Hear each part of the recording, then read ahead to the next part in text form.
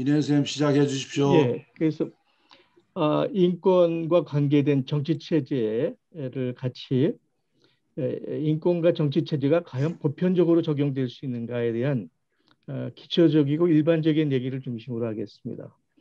인권의 철학적 기반은 어, 천재적 천부적이라고 얘기를 하는데 어, 천부적이라는 게 이제 주로 어, 유럽에서 하는 얘기지만 동양적으로는 내생적, 내재적이라고까지 얘기할 수 있습니다. 그럼 내재적이라는 얘기라는 것은 불가에서는 유아 독전 혹은 통학의 세계는 시천주 조금 더 나가면 예수가 얘기하는 인자론이 내재적 권리라고 얘기할 수 있습니다. 어쨌든 천부적 인권이라는 얘기가 18세기에 유럽에서 진행되었던 사회 계약론의 논쟁에서 시작됐는데 주로 이제 자연권과 자연법 여기에 이제 그 첫 번째 인물이 근대 어, 정치사를 어, 정치학을 열었다고 평가되는 홉스인데요.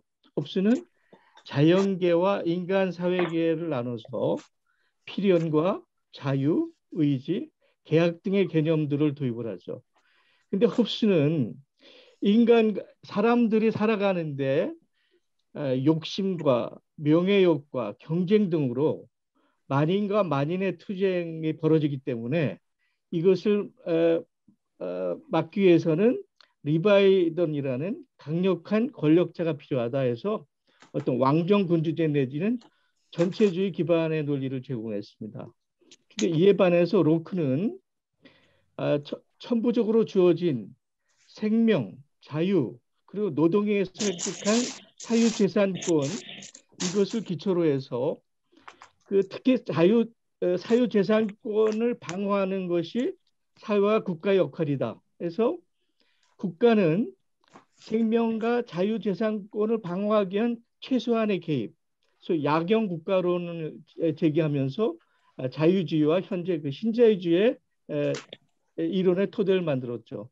이 로크의 이론은 사실은 그 당시에 앙상레진 구체제에 반항해서 일어난 신흥 자본가, 어, 재력가들의 말하자면 어, 어, 부르주아지의 이론을 입장을 방어하는 그런 이론입니다.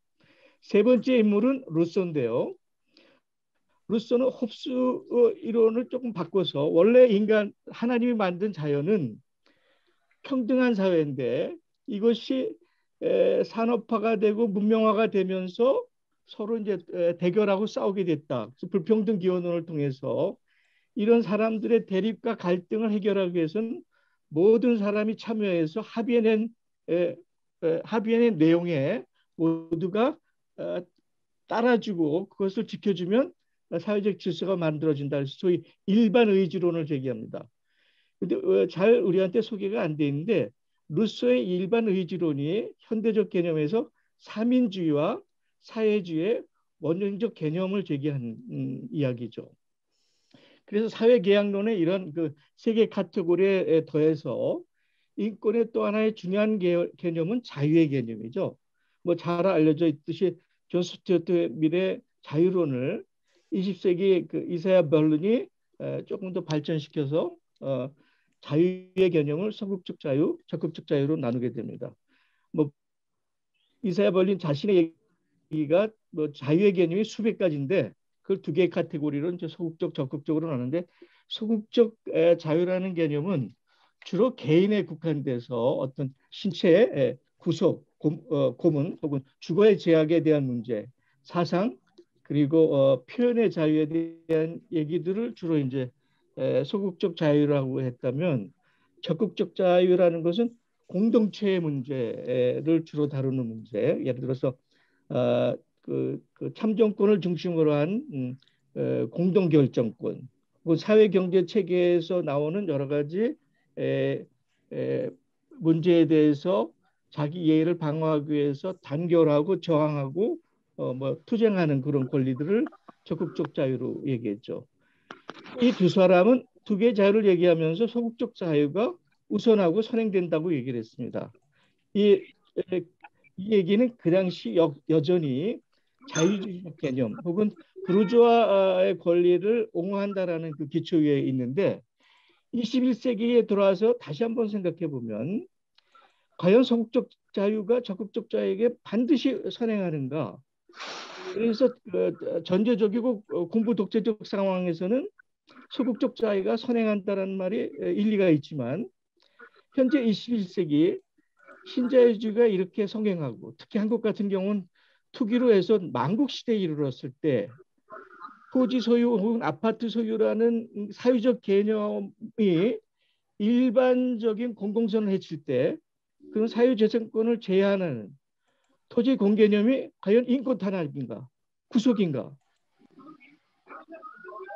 이런 문제가 있죠. 또 지금 우리가 부탁 지금 있는 팬데믹 상황에서 소극적 자유 개념에서 개인의 자유를 보장한다고 뭐 그 마음대로 돌아다니게 하고 마음대로 만나게 하고 마스크를 차는 것을 거부하는 것을 용납할 수 있을까?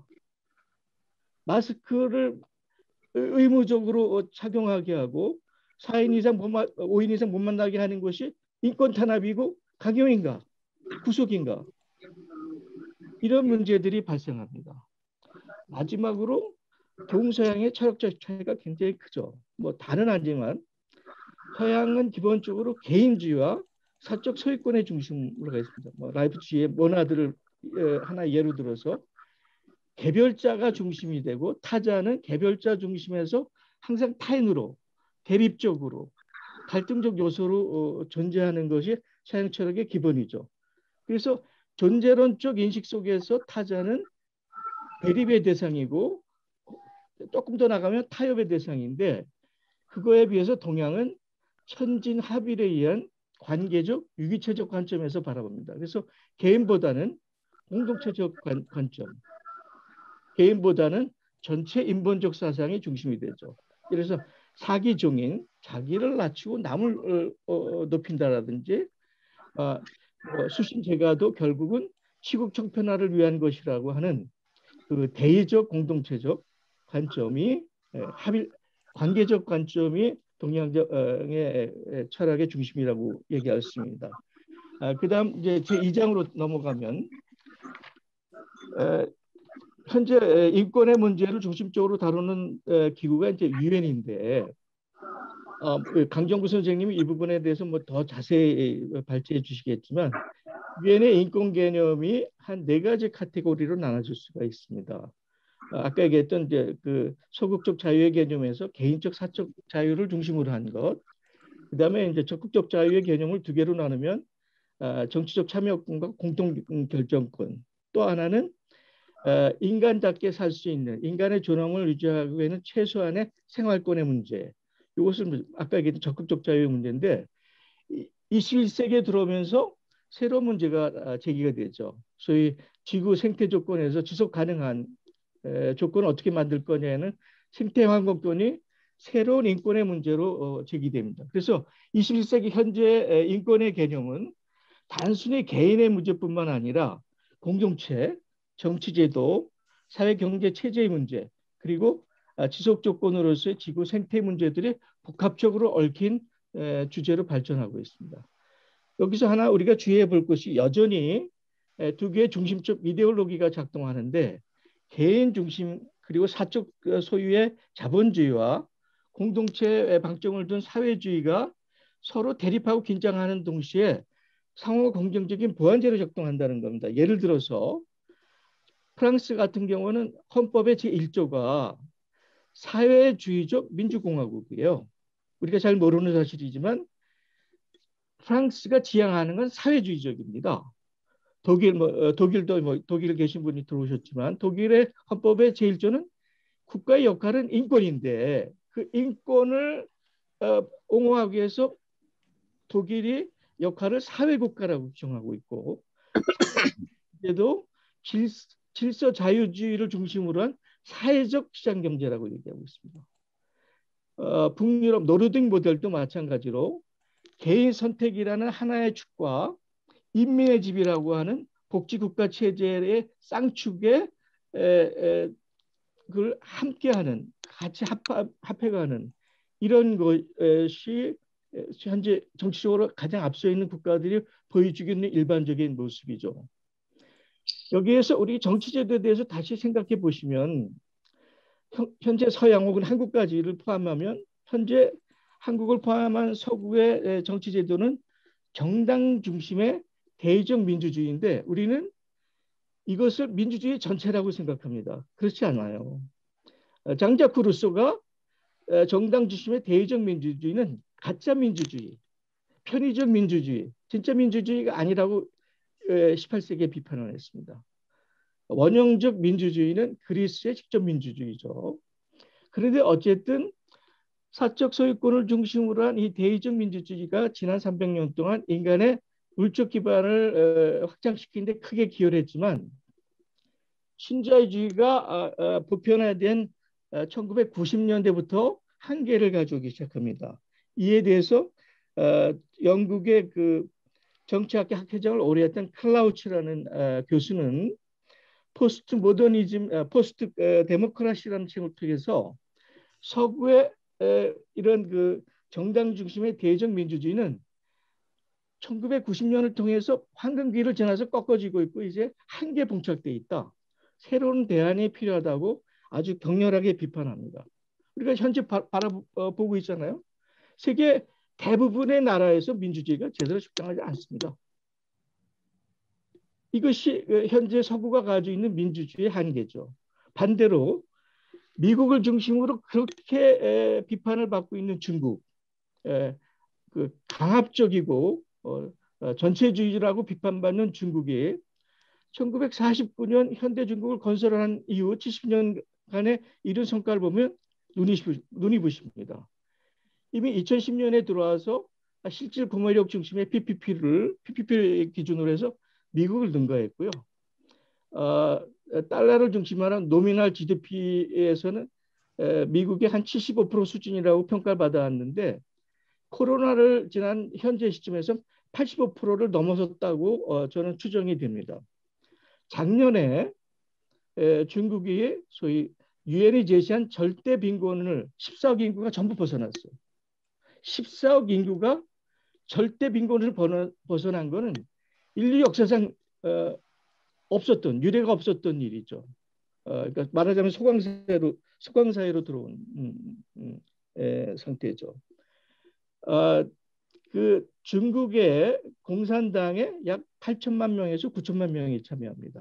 어, 그 성인의 한 10%가 참여하는데 여섯 단계를 거쳐서 단계 단계 대단히 치열한 논쟁과 현장 보고서와 현장 실사를 통해서 현안들을 해결해 가고 있, 는데 여기서 우리가 또 하나 중국 체제에서 주의할 부분이 아, 유, 아, 유의할 부분이 소위 양해 중에 하나라고 하는 정치 협상 회의라는 게 있어요.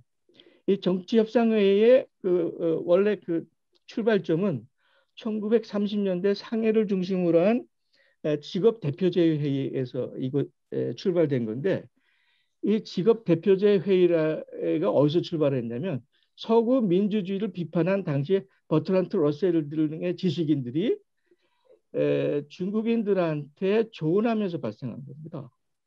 그래서 미국이 중국이 억압적이고 전체주의자라고 얘기한 중국의 인민집중적 혁명민주주의가 그렇게 만만치 않다라고 얘기하고 싶고요. 아시아 금융위기의 문제에 대해서 넘어가고 제4장으로 넘어가기로 하겠습니다. 그럼 과연 인권은 보편적인가? 아니면 아, 상황, 상황적인가? 이 점에서 제가 이제 존 롤스의 정의론의 개념을 유추를 했습니다. 아, 존 롤스가 정의론에서 아, 두 개의 원칙과 3개항을 얘기하면서 그 정의가 보편적이다고 얘기를 하지 않고 정의론을 설정해 가는데 출발 출발점으로서의 기준점을 잡, 잡, 잡기 위해서 그 세 가지 항을 제시했는데 그걸 본인이 아르키메데스의 출발점, 기준점이라고 표현하고 어, 했죠. 그래서 그존 아, 롤스의 개념적으로 얘기하면 인권에 있어서 출발적 기준점으로 아마 크게 세 가지를 얘기할 수 있을 것 같습니다. 생명권. 생명이 없는 것은 뭐 인권이든 민주주의든 아무런 의미가 없죠. 두 번째는 어, 소, 어, 소극적 자유에서 주로 얘기하는 신체권 혹은 어, self respect라고 하는 자기 존중권이 뭐 얘기될 수가 있을 거고 세 번째로는 뭐 유, 어, 육체를 가지고 있는 인간이 의식주를 해결하기 위한 최소적 조건, 어, 인간적 존엄을 유지하기 위한 생활권을 순서적으로 어, 축차적으로 얘기할 수 있을 것 같습니다. 이러한 것을 기준적 출발점으로 하고 그 다음에 인권이 인권의 영을 어떻게 넓혀갈 것인가 라고 할 때 그것은 결국 역사라는 시대 한계와 상황적 과제 상황으로 접근할 수밖에 없다라는 게 제 의견입니다.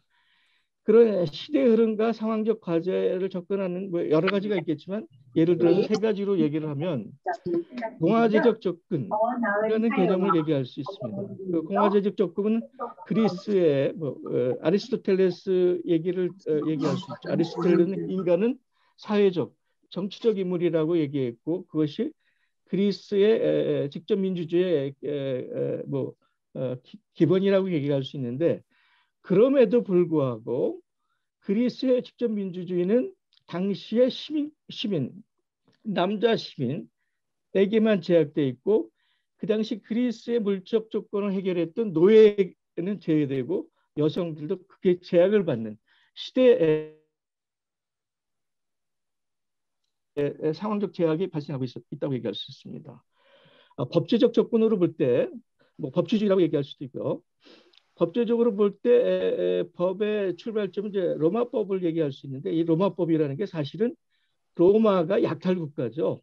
끊임없는 주반 국가를 침략해서 약탈해서 어, 뭐 토지도 장악하고 재산도 뺏고 노예화를 했는데 약탈해서 취득한 이 노예나 재산을 정당하기 위해서 만든 것이 로마법이에요.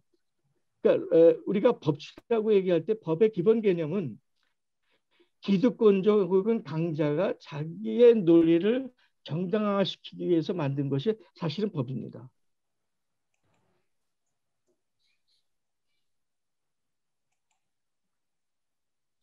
그다음 사회개혁 아까 얘기했고요. 그다음에 이제 실수단이 아니고 목적이다라고 하는 그 입장을 통해서 이제 법치주의를 얘기하고 어, 영국 평화론을 얘기해서 이제 만민법을 얘기를 했는데 칸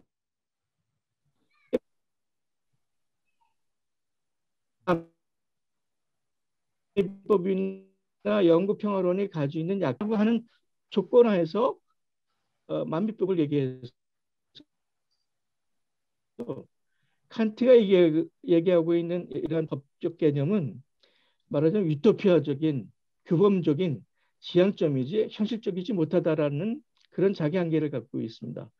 다시 말하면 법치는 기본적으로 어, 현재적 상황,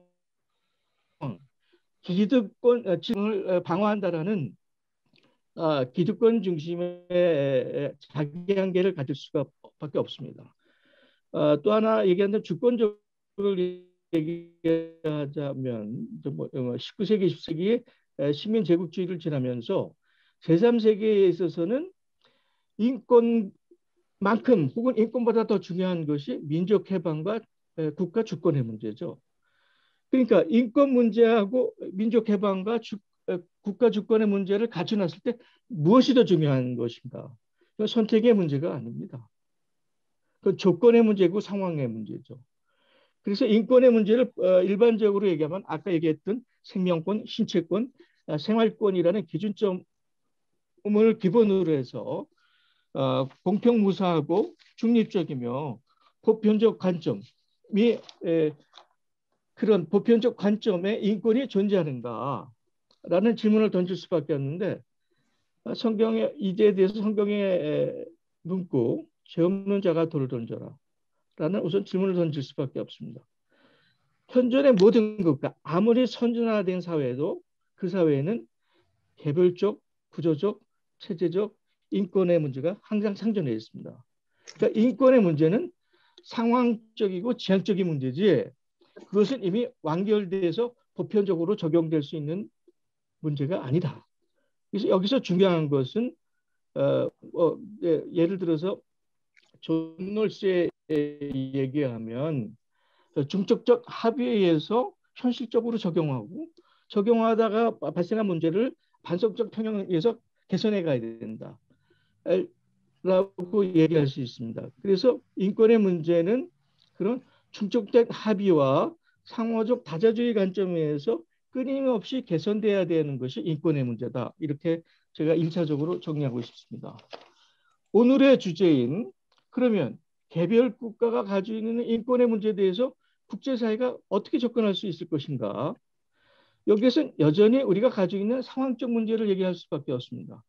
19세기, 20세기가 만들어놓은 식민 제국 사회가 만들어온 기존의 조건이 현재적 불평등으로 작용하는 이 조건을 에, 1차적으로 검토해 봐야 되죠. 그 대표적인 사례가 현재 우리가 직면하고 있는 에, 팬데믹 백신의 배포 과정을 바, 어, 바라볼 수가 있습니다. 유엔이 얘기했고 어, 어, WTO 어, 어, 무역기구가 얘기했지 백신의 기술권을 공개해서 인류 모두가 공유한 상태에서 백신을 생산할 수 있는 모든 나라가 백신을 생산해서 전 인류한테 공정하게 배분해서 빨리 해결해자 이렇게 주장하고 있는데 미국을 중심으로 해서 백신 개발의 기술권을 가지고 어, 마찬가지 백신을 무기화하고 줄 세 우기로 적용하고 있는 게 오늘의 현실입니다. 또 하나 패권에서 어, 형성된 질서, 그다음에 기구 체계가 어, 동맹을 가장한 진영, 진영 논리를 강요하고 있죠. 현재 미국이 가치 동맹을 얘기하고 있는데 그, 그 가치 동맹의 얘기로서 뭐 인권을 얘기하고 민주주의를 얘기하고 투명성 얘기하고 있는데 이 모든 것이 가치를 가장한 말하자면 진영 논리죠. 어, 기술까지도 어, 진영 논리로 동맹 논리로 어, 말하자면 무기화하고 있는 것이 현재의 상황입니다. 이러한 문제 극복할 수 있는 음, 하나의 가능성이 상호적 다자주의의 열린 가능성인데 그 사실 그것이 이제 유엔이 만든 목적이죠. 유엔이 이제 상호적 다자주의를 하자고 만든 건데 이 유엔조차도 미국이 말하자면 통제하고 있는 상황이고 1948년에 만든 인권선언문이 그런 다자주의 하나의 가능성을 열어놓은 건데 이런 유엔과 인권선언문의 관계성이 있는가? 관계성이 어디까지 에, 에, 적용될 수 있는가? 예, 여기에는 세 가지 접근이 갈 것 같아요. 어, 인권 문제가 발생했을 때 권고가 지원하는 문제. 이건 뭐 언제든지 가능하죠. 어, 상호적으로 공정 공영의 입자적으로 어, 어, 문제를 지적해주고 어, 사회 경제적으로 지원해주는 것. 이건 뭐 우리가 국제기금으로 당연한 것입니다. 근데 여기서 조금 더 나가서 경고하고 개입한다.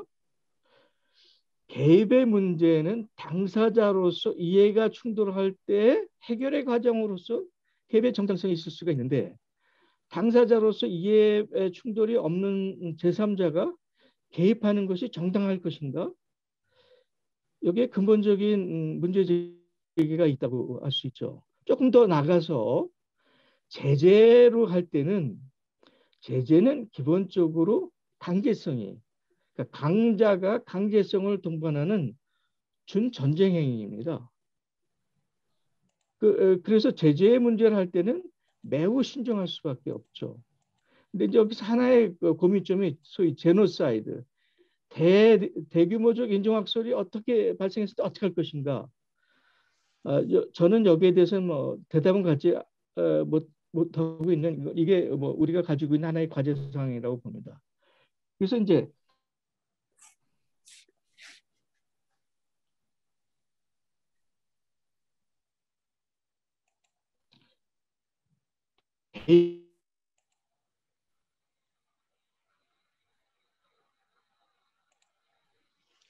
잠시 끊어졌습니다.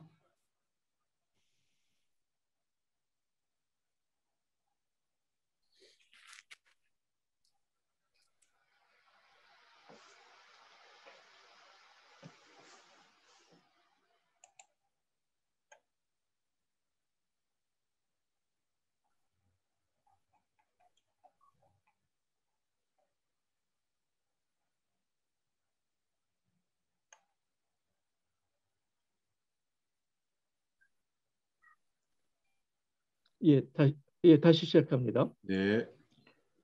그 미국이 뭐 항상 그랬죠. 뭐 억지로 정당성을 만든다든가 뭐 영국을 끌어들인다든가 이제 진영의 한 국가를 끌어들여서 어, 자기의 정당성을 부여하는 에, 그, 이런 어떤 그 범죄 행위죠 일종의 패권이 패권과 강자가 제재를 하는 것은 또 하나 우리가 검토할 것은 제재의 범위 효과를 어떻게 할 것인가 하는데 제재를 할 경우에 제재 상황 대상에 대해서 매우 제한적이고 조건적으로 적용해야 됩니다. 제재를 가했을 때 그 제재 때문에 선량한 시민들, 그 해당 국가의 시민들이 살, 삶의 제약을 당하고 고통받고 어려움을 당해서는 안 되죠. 이것이 상식적인 거 아닙니까? 그래서 제재를 가할 때는 반드시 조건적이고 매우 제한적이고 그 상황이 개선되거나 없어지면 즉각적으로 해제하거나 완화해야 됩니다. 그런데 현재 미국이 북한, 이란, 쿠바, 베네수엘라에 가고 있는 이런 일반적 제재는 이것이 뭐 우리 그 정현진 선생님이 잘 알고 있지만 미국의 메디아 벤자민은 이것을 세 가지로 표현해요. 브루탈하다, 일리갈하다, 인이펙티브하다. 그러니까 살인적이고 불법적이고 무용적이다라고 표현하는 거죠. 현재 미국의 제재의 성격이 이 세 가지입니다. 또 하나 제재를 가하더라도 어, 베스트 팔렌의 원칙에 의해서 상대방 국가의 주권을 존중해야 됩니다. 그래서 인권의 문제를 결론적으로 얘기하면 어, 아까 얘기했던 그 기준점으로서의 천부적 기준점을 공유하고 개별 국가의 주권을 상호 존중하는 범위 내에서 시대적, 상황적, 조건적 한계와 장애를 벗어나고 점차적으로 확대하는 지향적 방향으로 접근해야지 이것을 패자, 패권과 강자의 논리로 포장하거나 강제하거나 제재하는 것은 저는 국제적 범죄 행위라고 봅니다. 아, 마지막 항에 그럼 현재 오늘 주제인 미국이 인권에 대해서 지지를 하는 것이 정당한 것인가? 뭐 답변은 미국 자체가 최악의 인권 불량 국가다 해서 어, 제가 뭐 한 여섯 일곱 가지를 저게 얘기했는데 뭐 그냥 보시면 되는데 두 번째 현재 반아시아에 대한 폭력이 난무하고 있는데 수정권이 발생하고 있는데 그 중에 80%가 중국계하고 한국계에 집중되어 있습니다. 이게 중국 혐오와 북한 핵이라고 하는 이데올로기에 의한 중국 정부와 어, 메디어가 만들어내는 끊임없는 이데올로기적인 기제에 의해서 어, 그 반아시아의 폭력이 일어나고 있다. 그다음에 이제 정현주 선생님이 총기 문제를 다룰 텐데 이 총기 문제의 배, 역사적 배경은 아까 얘기했던 음, 로마의 약탈 전쟁이 일차적 배경입니다. 로마가 약탈 전쟁을 할때 어, 시민들이 참여하죠. 시민들이 참여해야만 약탈된 그 재산과 토지와 뇌를 할당받을 수가 있어요. 근데 재밌는 게 로마 시민이 약탈 전쟁에 참여할 때 무기를 자기가 준비를 해야 돼요. 국가가 제공하지 않습니다. 그러니까 본인이 자기의 생명을 보호하기 위해서 자기가 할 수 있는 최고 수준의 무기를 가지고 나갑니다. 또 하나 이 역사적 배경은 서부 개척 시대죠. 원주민을 쫓아내기 위해서 무장에서 총기를 사용하는데 이것이 정당 방위로 어, 말하자면 정당화된 거죠. 그래서 미국의 총기 보유의 역사적 배경은 로마의 약탈 전쟁과 서부 개척 시대라고 하는 이 역사적 배경을 반생명적이고 반인간적이고 반인권적인 것을 정당화하는 겁니다. 또 하나 재미있는 것은 미국의 양극화가 얼마나 심한지 5천만 명이 푸드뱅크에 연명하고 있어요. 현재 미국의 대통령이 로널드 레건 이후에 40년 동안 단 1달러라도 먼저 쓴 사람이 예, 당선이 이게 민주주의입니까? 어, 그 다음에 제가 뭐 한 한 5분 더 써도 되겠습니까? 예. 어, 미국이 세계를 지배하는 데는 세 가지가 있어요. 워싱턴 룰, 정치적 군사적으로 세계를 지배하는 것을 워싱턴 룰이라고 합니다. 또 하나는 경제 체제, 소위 워싱턴 컨센서스라고 하는 신자유주의를 해서 전 세계를 금융 포트폴리오하는 워싱턴 컨센서스가 있고 마지막으로 우리가 잘 모르는 게 있는데 워싱턴 프레임입니다. 어, 미디어를 통해서 혹은 음, 문화를 통해서 미국의 가치가 세계 최고고 미국이 하는 것이 가장 옳다라고 하는 것을 문화적으로 미디어적으로 조작하는 거예요. 세계 거대 미디어의 90%가 거대한 미국 어, 재벌들이 장악하고 있고 이, 이, 이, 이, 이러한 배경에서 미국의 가치와 미국의 모습을 조작해내는 것이죠. 현, 최근에 신장의 사례가 그겁니다. 뭐 신장 사례를 얘기하려면 뭐 이것도 한 시간 이상 걸리기 때문에 그 다음에 우리 그, 그, 그, 강정구 선생님이 뭐 나중에 다 얘기하겠지만 어, 미국이 유엔 등 국제기구가 결정하는 기후, 경제, 사회, 문화, 역사, 인권에 대한 대부분의 협약을 서명하지도 않고 불이행하고 있습니다. 그 대표적인 것이 파리 기후협약이고 유네스코 탈퇴고 WTO 같은 경우에는 어, 마지막에 판결을 해야 되는데 판결, 어, 판관의 임명권을 미국이 주고 있는데 최근 몇 년간 그 파, 판관을 임명하지 못하고 있어요. 미국 때문에. 그러니까 무역기구가 어, 재경을 못하고 있는 거죠. 뭐 WHO와 백신 얘기는 아까 했습니다. 국제형사재판소라고 있습니다. ICC라고.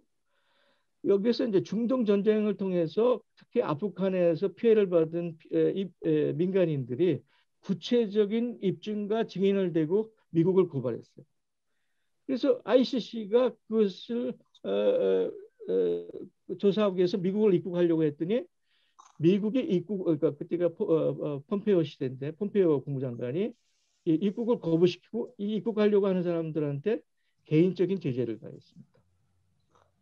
진짜 황당한 상황이죠. 어, 바이든으로 들어와서 어, 개인적 제재는 해지했지만 입국을 허용했는지는 제가 어, 어, 어, 어 확인하지 못했습니다. 예, 뭐 미국이 과연 제재를 할 자격이 있는 국가인가? 뭐 이거 뭐 그대로 자명한 것이고요.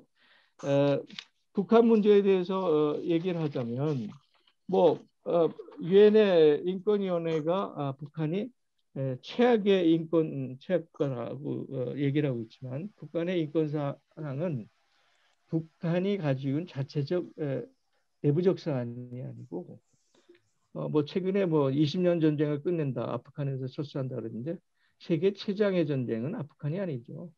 물론 휴전 상황이긴 하지만 저강도의 준전지 상황에 있는 북미 전쟁이 세계 최장의 전쟁이고 이런 상황에서 북한은 인권 문제를 우선해서 국가 주권을 방어하고 민족을 생존해야 되는 문제 이런 국제적 조건, 국제 질서적 조건, 위협 체제가 일체적 상황으로 다가오는 거죠.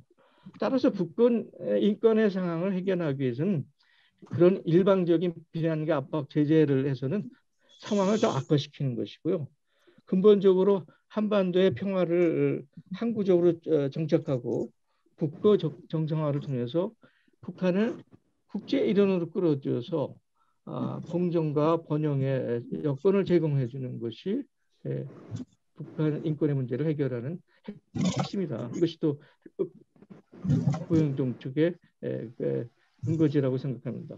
뭐 7번 사항은 제가 여기서 생략하겠고요. 마지막으로 제가 하나의 그 그림을 마지막으로 적였는데 어, 현재 우리의 상황은 그동안 70여 년 동안에 한반도를 지배했던 냉전 논리 혹은 팍스 아메리카나는 단극 체제.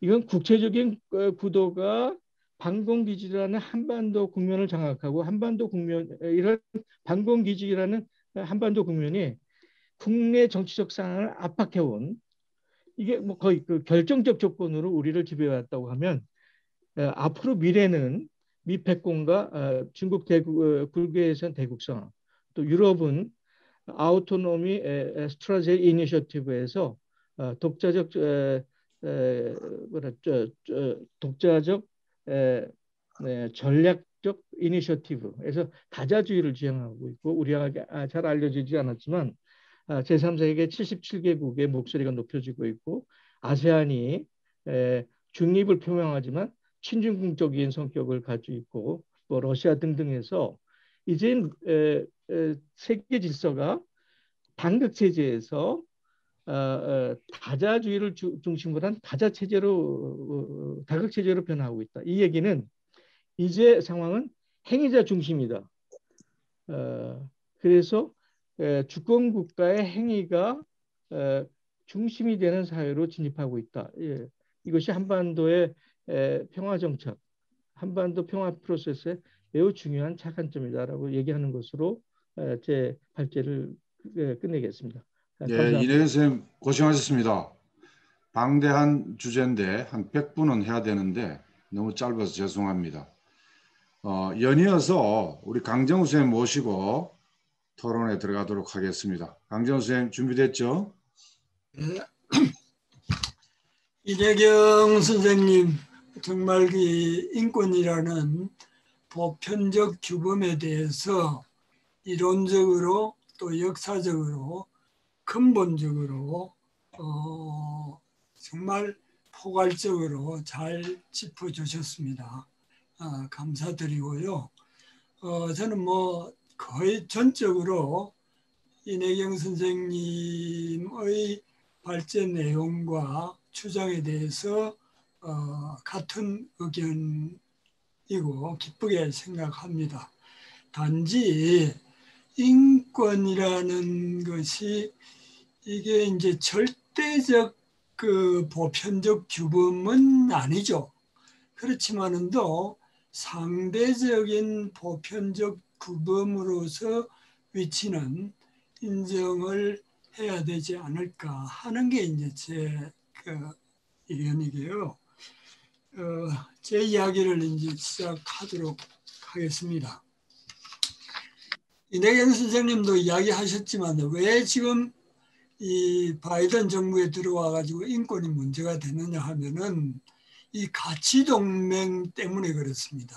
가치 동맹은 이게 민주주의, 그 다음에 자유, 인권, 법치 이런 걸 기준으로 해서 이 중국은 이런 분야에서 가장 이것을 많이 위반하는 국가니까 이 중국을 포위 봉쇄하는 전략 경쟁의 구도 하에서 어, 이런 인권이 부각이 된 거죠.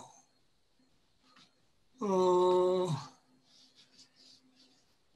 그 냉전 시대 때는 주로 경제적 요소죠. 사회주의와 자본주의의 대립이라는 이념 이데올로기 전쟁이었는데 경제적으로 중국을 고립화시킨다는 것은 불가능하죠. 세계에서 가장 큰 경제대국이고 무역대국이기 때문에 경제적으로 음, 중국을 배제한다는 것은 지구촌 전체가 돌아가지 않으니까 이게 이제 공략을 하는 어, 좋은 빌미로 자기들 생각에 이 가치 동맹을 이제 그 어, 꺼냈고 이것이 에, 지금 문제가 되고 있는 것 같습니다. 어, 인권이 뭐냐? 뭐 여러 가지 아까 설명을 하셨지만은도 인간이 인간답게 존엄성을 가지고 살아갈 수 있는 여러 가지 조건을 부여받을 권리다. 이렇게 좀 간단하게 이제 정의를 할 수 있을 것 같고 이게 보편적인 정의에 가깝지 않느냐는 생각입니다.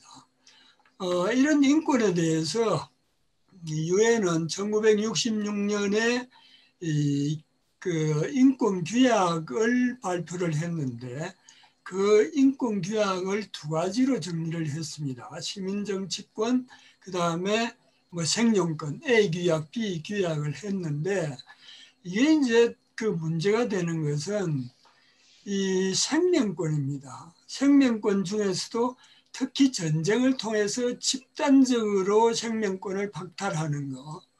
여기 누가 했습니까? 주로 미국, 영국이라든지 제국주의자들이 했는데 이걸 이 인권 규약의 기본권으로 설정하지 않았다는 거죠. 근데 동서고금이나 남녀노소를 막론하고 누구에게든지 가장 고귀한 것은 생명입니다. 목숨보다도 더 중요한 건 없습니다. 그 중에서도 전쟁을 통해서 생명권이 박탈당하는 것은 뭐 수백만 수천만이 전쟁을 통해서 박탈당합니다. 이것만큼 중요한 게 없는데 이것을 이제 배제를 했는데 그래서 유엔 인권 규약도 어, 재설정이 필요하다는 게 저희 주장이고 그래서 저는 인권 기본권을 재구성해야 된다 아, 이렇게 주장을 하면서 어, 상대적으로 좀 순차적으로 이야기를 하자면 가장 중시되어야 될 게 평화생명권이다. 어, 그 다음에 건강생명권이다. 지금 코로나를 계기로 해가지고 얼마나 많은 사람들이 건강생명권이 침해되고 있습니까? 그 다음에 세 번째가 생존생명권이다. 이것은 유엔 규약 A에 해당되는 거죠. 뭐 경제 사회 문화권이라고 이야기하는 거죠. 그 다음에 네 번째가 어, 시민 정치권이다. 아, 이렇게 보고 이게 절대적인 기준은 아니지만은도 우선순위가 이런 식으로 좀 매겨질 필요가 있다는 게 어, 저희 주장입니다. 물론 각 나라의 역사적 조건이라든지 예, 이런 것 때문에 그 이 순위는 절대적인 것은 아닙니다. 그렇지만도 어느 정도 상대적 보편성을 가진 인권 순위로 볼 수 있지 않겠느냐 하는 게 이제 저희 생각입니다. 자, 그 다음에 중 그러면은 이제는 어, 그, 예. 근데 중국은 또 어떻게 보고 있느냐?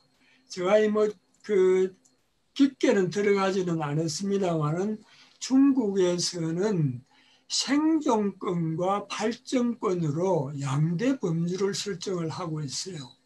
근데 생존권 중에는 그 안에 생명권과 건강권을 포함을 하고 있습니다.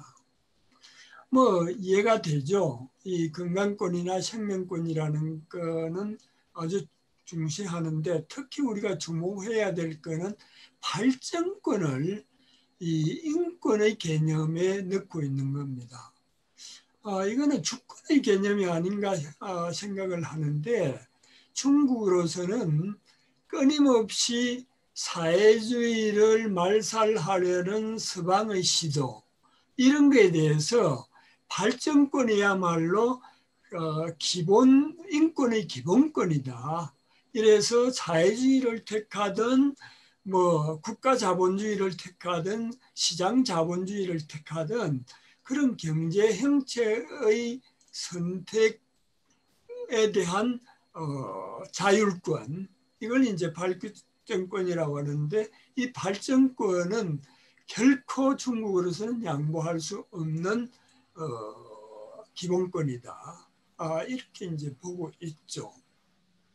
어, 근데 제가 조금 그건 뭐 충분히 이해가 되지만은도 이걸 주권으로 볼 필요가 있지 않느냐 하는 게 있고 그 다음에 이 평화 생명권에 대해서 중국이 어, 인권의 범주에 별로 중요시하지 않고 있는 것에 대해서는 조금 제가 왜 그럴까 하는 이제 그런 의아심을 좀 가지고 있습니다.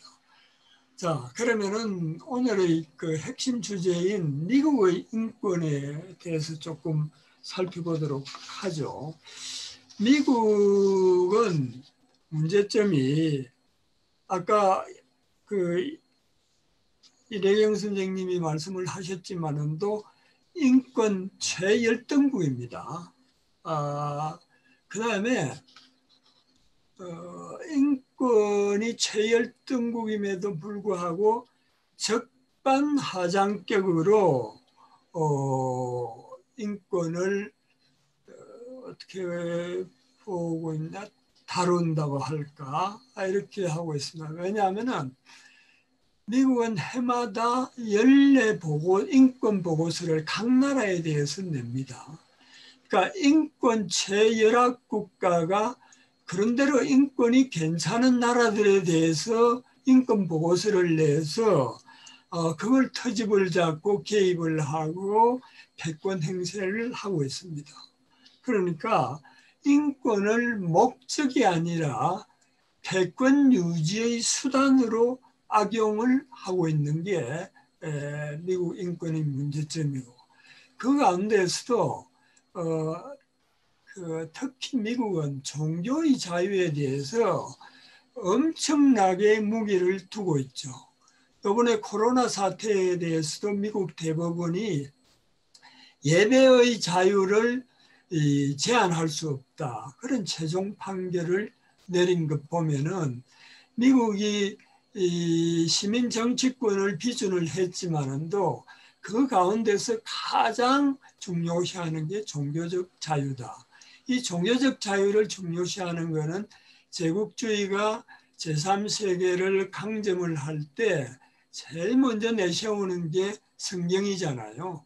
성경과 총으로 이 제3세계를 지배를 했는데 그 전통을 그대로 지금 유지를 하고 또 인권의 가장 기준점으로 설정하고 있는 것 자체가 미국의 제국주의성을 바로 인권과 연결을 시키고 있다는 이야기가 되겠죠. 그럼 구체적으로 미국의 인권 사항에 대해서 제가 한겨레의 4월 12일자 실론으로 여덟 가지를 지적을 했습니다. 그 여덟 가지를 보면은 미국은 어, 유엔 인권규약 AB 중에서 B만 이 비준을 하고 A는 생존 생명권에 대해서는 비준을 하고 있지 않고 이것은 이 인권의 범주가 아니다 배책을 하고 있습니다. 그러니까 국제 기준에 50%밖에 충족을 못하고 있는 게 미국이죠. 그 다음에 미국이 유엔 인권 이사에서 탈퇴를 했는데 탈퇴한 이유가 이스라엘을 이 규탄하는 결의안을 내니까 탈퇴를 한 거죠. 사실 어, 지구상에서 가장 인권 침해를 많이 하는 어, 특정 국가가 미국하고 이스라엘이잖아요. 유엔 인권 이사에서 이스라엘을 규탄한다고 해서 여기에서 탈퇴하는 이 미국의 행위가 어떻게 다른 나라의 인권을 뭐 왈가불가할 수 있는 그런 자격이 되느냐 하는 거죠. 그 다음에 지미 카터 전 대통령이 이야기했지만도 미국의 242년 역사에서 어 16년을 빼고는 전쟁하지 않은 해가 없다. 그러니까 역사적으로 가장 호전적인 국가이고 그 결론이라는 것은 역사적으로 평화생명권을 가장 많이 침탈한 어, 나라가 바로 미국이다. 그런 나라가 어떻게 감히 인권을 이야기를 하느냐 하는 거죠. 그 다음 네 번째는 생존 생명권인데 뭐 아까 저 이래경 선생님이 이야기하셨지만은도 어 극빈자가 5천만이라 그랬나요?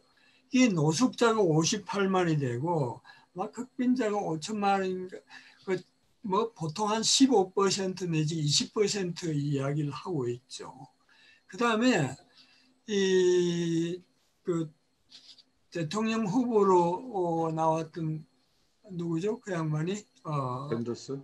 어, 샌더스가 이야기했지만은 또 부자 세 사람이 하위 소득자 50%의 부부보다도 더 많은 부를 가지고 있대요.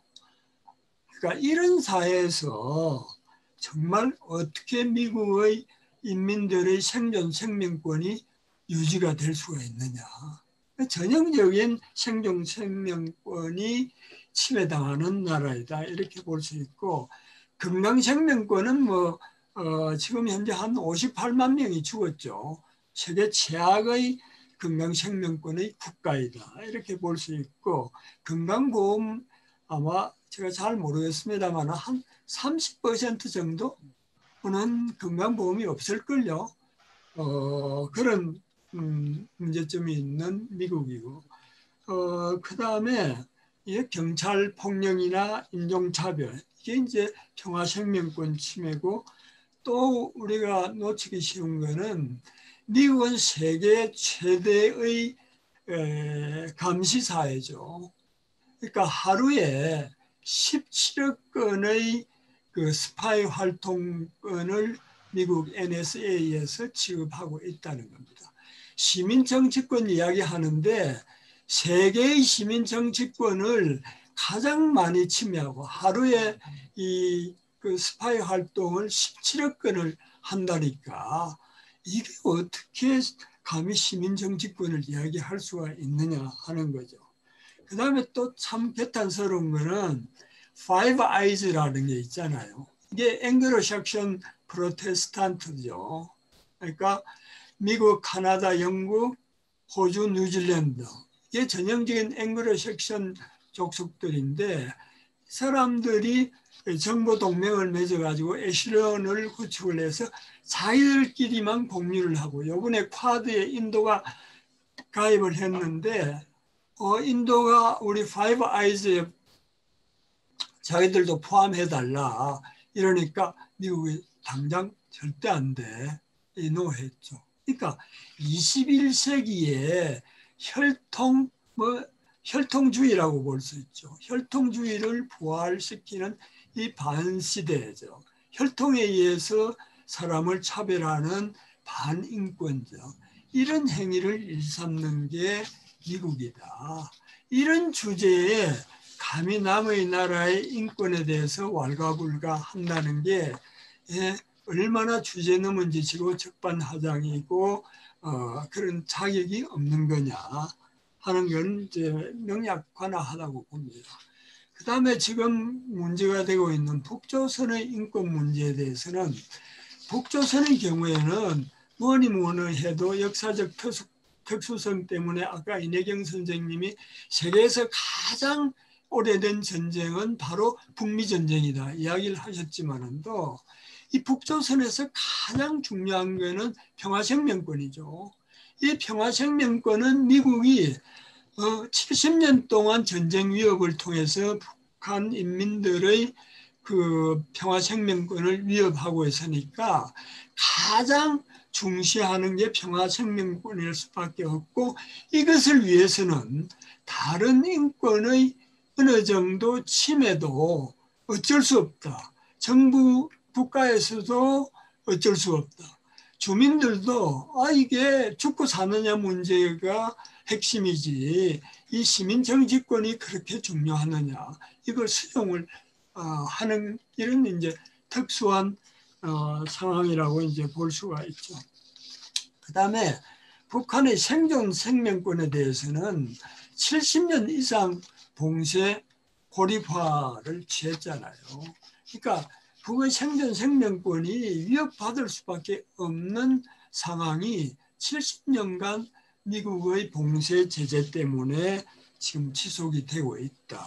아, 이렇게 볼 수 있고, 이, 그 다음에 세 번째 북의 그 시민 정치권의 문제는 이 아까도 이야기했습니다. 했습니다만 평화 생명권을 위해서는 시민 정치권의 어느 정도의 제약은 불가피하다.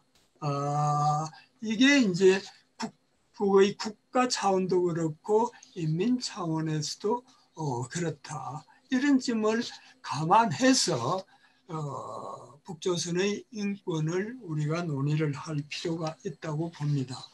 어, 그 다음에 이거는 어, 이내경 선생님이 민주주의에 대해서 이제 이야기를 했으니까 저는 그이 민주주의에 대해서 진짜 민주주의가 뭐냐 민이 주체가 되고 민이 통제력을 행사하는 통제력을 높일 수 있는 구조적 조건을 만드는 거 이게 민주주의잖아요. 그런데 민이 통제력과 주체력을 어, 높이려면은 민의 힘이 있어야죠. 파워가 있어야 됩니다. 파워라는 것은 사회적 관계를 변화시킬 수 있는 뭐 역량이라 할까 이걸 어, 의미하는데 이 사회적 관계를 변화시킬 수 있는 이 파워가 인민들에게 주어지지 않으면은 어, 사실 민주주의라는 게 그냥 말만 하는 거다. 대의제 민주주의가 과연 이런 파워를 어, 인민들에게 주고 있느냐 어, 아까 샌더스 이야기했지만 3%가 하위 50% 소득자의 재산보다 더 많은 재산을 갖고 있는 상황 하에서 파워가 기울어진 상황 하에서 민주주의가 성립되기는 어, 힘들죠. 어, 그 다음에 자유에 대해서는 저는 그 이대경 선생님 뭐 그 동의를 하면서 이런 제안을 했으면 좋겠어요.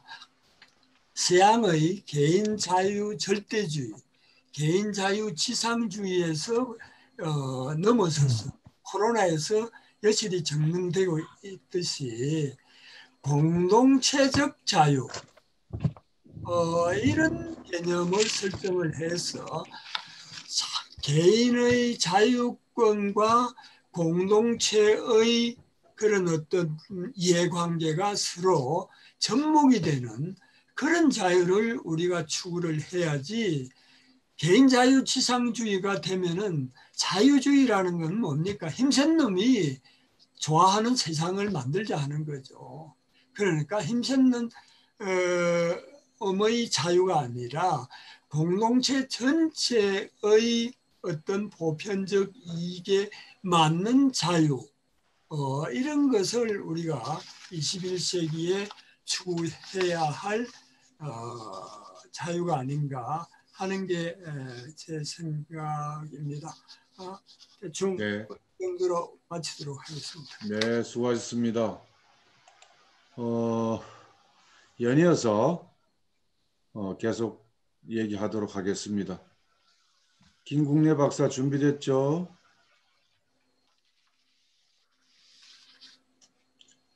김국래 박사 어디 잠시 갔나?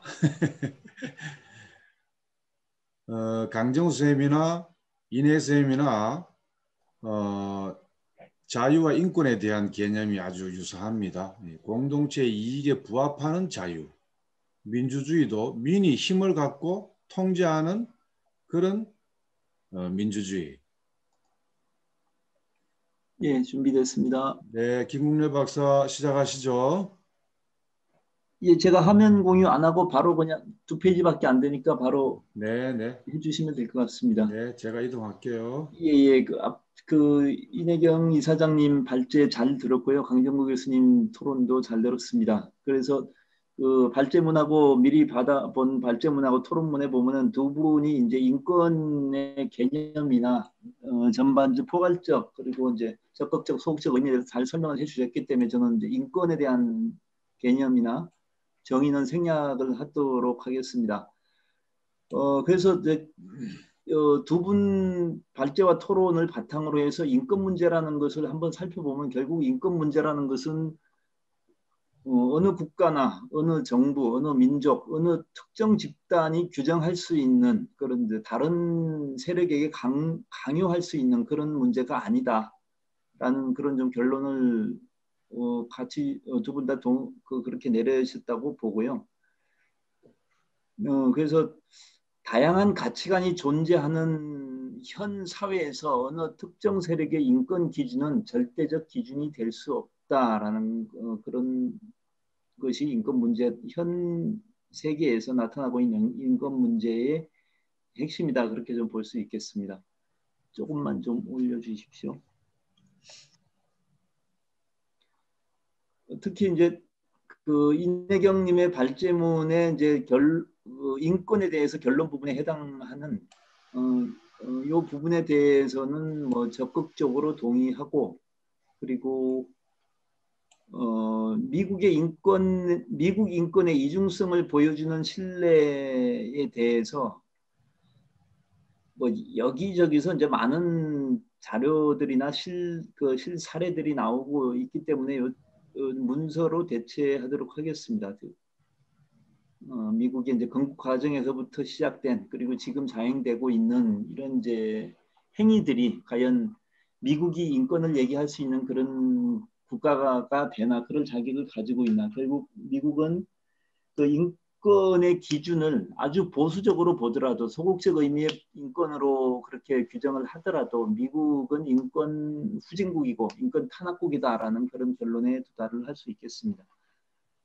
어, 제가 아무래도 그 중국 쪽 파트를 맡으라고 이제 그렇게 요구를 하신 것 같은데 어, 구체적으로 많이 하진 못했고요. 어, 지금 이제 문제가 되고 있는 미국이 중국에 대해서 계속 인권에 대해 인권을 가지고 요구하고 있는 그런 상황인데 먼저 그 G2라는 용어에 대해서 한번 좀 살펴봐야 될 것 같습니다. G2라는 용어는 오바마 정부 시절에 이제 미국 쪽에서 먼저 나온 것이긴 한데 중국에서는 바로 이제 여기에 대해서 거절을 했죠. 사실상 거절을 하면서 지금은 중국에서는 G2라는 용어가 사용이 되지 않고 있는데 서방 언론들이나 한국 언론을 포함해서 서방 언론이나 국가들은 여전히 G2에 대한 그런 미련이 좀 남아 있어서 어, 그런지 이건 G2라는 용어를 여전히 좀 일상적으로 사용을 하고 가, 있는 것 같습니다. 중국은 G2라는 용어가 제시되자마자 어, 중국이 체면은 올라갈지 몰라도 결국 실속은 다 잃는다라는 그런 이제 판단을 한 거죠. 중국을 세 장에 가두려고 하는 미국의 의도이다. 어, 그리고 이제 미국의 기준과 잣대로 중국의 발전을 억압하고 정, 결국은 정치 체제를 붕괴시키려는 그런 의도, 의도이다라는 것을 그렇게 이제 중국은 파악을 하고 있고요. 그래서 그 이러한 중국의 입장이 나오게 된 배경을 좀 살펴봐야 될 것 같은데 그것은 미국 미중 수교까지 좀 그, 거슬러 올라가 가야 될 것 같습니다. 조금만 더 올려주시겠습니까? 예.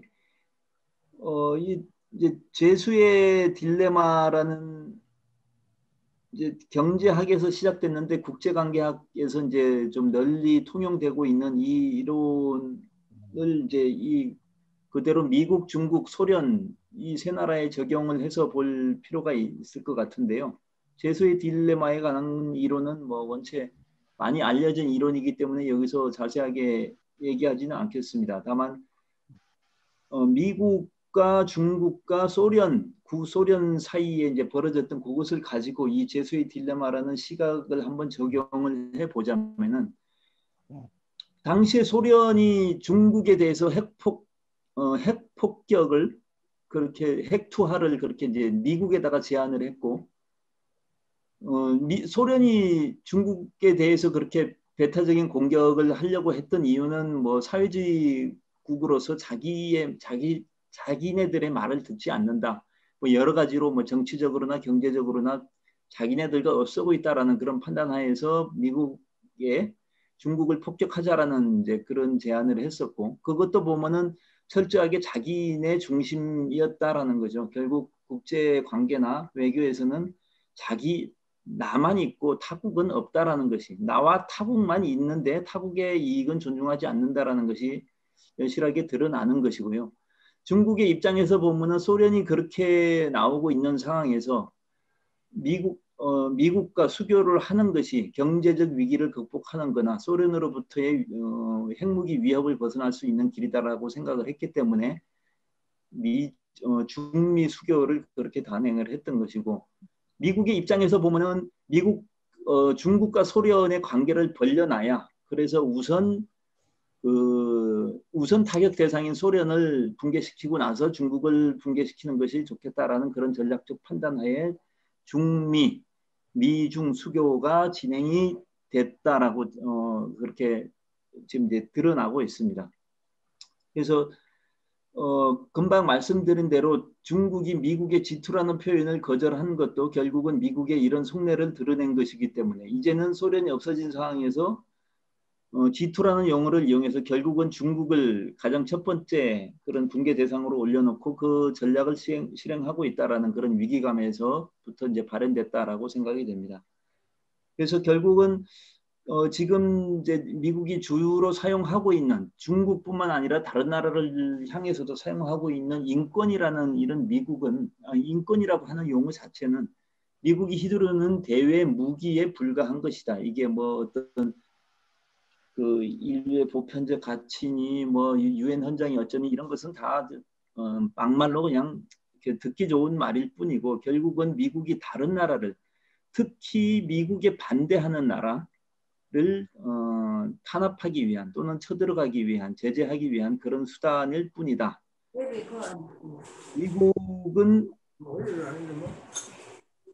어, 미국이 이제 전통적인 그런 어, 적대 국가에 대한 외교 정책을 보면 이제 어떤 그 여론을 조성을 하고 자국 내 이제 자국 내에서 인권법을 제정을 하고 그리고 국제 사회에서의 여론을 확산시키고 국제 기구를 통한 압박을 이제 지속적으로 하면서 한편으로는 다양한 형태의 그런 자금 지원을 하면서 그 해당 국가의 어, 정권 교체를 시도하는 어, 정권 교체의 단계에 와서는 그게 이제 공식적이든 비공식적이든 공개 비공개 여러 가지 이제 수단을 동원한 그런 것을 통해서 정권 교체 또는 체제 붕괴를 이제 시도하는 것이 미국의 전통적인 방식이었다. 물론 요 앞뒤 순서는, 순서는 바뀔 수 있지만 그렇기 때문에 미국이 얘기하는 인권 지금 이제 특히 중국의 이제 시, 어, 신장에 대한 그 인권 얘기를 하고 있는 것도 중국은 결국은 이제 미국의 이런 어, 전략적 의도에서부터 비롯된 것이다라고 생각을 하고 있고 이전에 진행됐었던 홍콩 민주화 운동 우리가 이제 민주화 운동이라고 표현하는 그 홍콩 민주화 운동도 결국은 그 배후에 어, 뭐 배후나 이제 사실 드러내놓고 그렇게 지원을 하고 있으니까 배국의 미국의 CIA가 조종을 하고 있다라는 그런 판단을 하고 있습니다. 그래서 이런 그 미국 중심의 이런 사회가 지속이 되면은 그 인류의 보편적 가치를 가지고 다른 나라를 위협하고 쳐들어가는 이런 형태의 그 반인륜적 이런 행, 형태는 계속 드러날 수밖에 없을 것이다. 그래서 새로운 국제 질서를 어, 재편 국제 질서를 형성하는 것이 국제 질서의 새로운 재편만이 동북아와 한반도의 평화를 정착시키는 것이다라는 것을 결론으로 말씀을 드리고요. 어, 이 뭐 새로운 국제 질서 재편은 오늘 주제가 아니니까 그건 다음 기회에 말씀드리도록 하겠습니다. 이상입니다. 네, 수고했습니다. 자, 연이어서 정현진 쌤 시작하시죠. 정현진 쌤. 네, 화면 공유를 제가 중지할까요, 제가? 네, 중지를 해야지만 실행이 된다고 나오네요. 네, 네, 네. 제가 중지했습니다.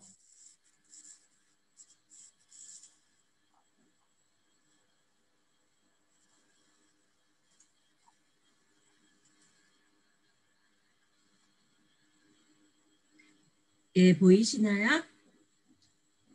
네. 네, 저는 어, 미국 인권의 이중 잣대와 어, 그럼 여기에 대해서 우리의 과제는 어때야 될지를 간략하게 짚어봤는데요. 우선 그 4월 15일 날 아, 미 의회에서 있었던 톰 렌터스 인권위 청문회 모순부터 짚고 들어갔습니다. 그래서 어, 4월 15일 날 미 하원에서 톰 렌터스 인권위에서 청문회가 있었는데 어, 여기는 이제 공동 의장이 공화당, 민주당 두 사람이 있는데 크리스 스미스 의원이 어, 충분한 절차에 관한 합의 없이 그냥 청문회를 연 것 같다. 어, 그렇게 보입니다. 그래서 그 스미스 의원의 말은 대북 전단 금지법이 시민 정치권 권리에 관한 국제 규약에 따른 표현의 자유를 부당하게 침해하는 것이다. 또 이인호 전 어, 서울대 명예교수는 김정은의 뜻에 반하는 일을 하지 않겠다는 어, 문재인 정부의 의지가 반영된 것이라고까지 표현을 했고요. 어, 미국의 보수 논객 고든창 아, 변호사는 자유와 민주주의 개념이 한국에서 공격을 받고 있다. 라면서 문재인 한국 대통령의 중요한 목표가, 목표가 남북한의 통일이라는 점이 한국의 자유민주주의가 위태롭게 된 배경이라고 정말 어이없는 아, 말까지 하는 아, 상황이었습니다. 이 대북전단 금지법의 부당성을 얘기하는 연사는 두 명이었는데 그 중에 이제 인권 변호사 전수미 씨가 대북전단은 북한의 인권을 개선하기보다는 그들의 고통을 가중시켜서 인권 개선의 효과적인 방법이 아니다. 북주민은 이미 외부 세계에 대해 다양한 정보, 정보를 얻고 있고 미국인들은 1% 전단살포 탈북자를 말만 듣지 말고 다양한 탈북자들의 경험과 접경 지역 주민들의 목소리를 들어야 합니다 라는 어, 소리를 전달을 제대로 했습니다. 아, 것은 이 톰 렌터스 인권위는 미국 하원의 정식 조직이나 하원의 공식 상임위는 아니어서 여기에서 다루어진 내용은 법적 구속력은 어, 없습니다. 어, 과연 이것이 무엇을 위한 청문회였나 보면은 하여튼 인권 침해에 대한 합리적인 이유와 논리를 밝히지 못한 부실한 내용에 그쳤고요. 인권을 정치적인 무기로 사용하고 있는 전형적인 아, 예, 예, 예에 해당한다고 하겠습니다. 아, 그리고 접근 지역의 우리 주민의 생존권은 철저히 무시되, 무시되었고요. 표현의 자유를 제한하고 이, 이것이 인권의 침해라면 국가보안법도 당연히 문제 삼아야 되지 않는, 않는가. 네, 국가보안법에 대해서 미 의회에서 청문회를 가진 적은 아직은 없는 것 같습니다. 인권의 정의를 어, 어, 이래경 교수님 또 어, 강정 교수님이 잘 짚어주셔서 어, 여기서 되풀이할 필요는 없겠습니다만은 어, 국제 인권 규약에서 다루는 그 규약에서 생존권에 해당하는 것을 미국은 채택하지 않고 있다는 점 그리고 최근에 박한식 교수님이 인권을 정의하실 때 생명권, 더불어 사는 권리, 평등권, 자유권, 또 사랑할 수 있는 권리, 가족이 함께 있어야 하는 권리, 이, 이 권리도 얘기해 주셨는데 주권과 더불어요. 굉장히 인상적이었고요. 강정구 교수님의 인권 정의가 참 좋아서 여기 모셔왔는데 평화생명권, 건강생명권, 생존생명권 A 규약, 규약에 해당하죠. 그다음에 시민정치권은 B 규약이고요. 네, 아, 인권 정의를 간단히 살펴봤고요. 미국 역사의 출발점부터 보자면은 애시당초부터 평등이라는 개념이 이제 결여돼 있습니다. 같은 시기에 프랑스 대혁명에서는 자유 평등, 박예고 두 번째 개념의 평등이 나오는 데 비해서 미국 헌법의 3대 정신은 생명, 자유, 행복의 추구라는 거를 자세히 들여다보면은 행복의 추구는 원래 재산권이었는데 이 재산권을 헌법에 명시하는 거는 어, 노예 제도를 정당화하는 거에, 거에 대해서 비웃음을 살지도 모른다라는 우려 때문에 행복의 추구라는 두루뭉실한 말로 어, 대신되었습니다.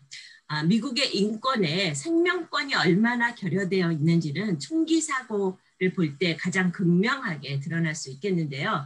어, 도표에 보시면은 1999년부터 2017년까지 미국에서 일어나는 총기 사건을 보면은 최근에는 4만 건에 달할 정도로 어, 증가 추세가 확연하게 있는 것을 알고 알 수 있으시고요. 2021년 최근에는 아틀란타에서 아시아계 여성을 상대로 어, 무자비한 총, 총격 사망이 있었죠. 이 지도에 보면은 2018년 1월에서 2월, 그것도 2월 14일 발렌타인데이까지 두 달 동안에 미 전국적으로 학교 총기 난사 사건이 얼마나 전국적인 차원에서 이렇게 벌어지고 있는지를 보여주는 지도라서 어, 보여드리려고 가져왔습니다.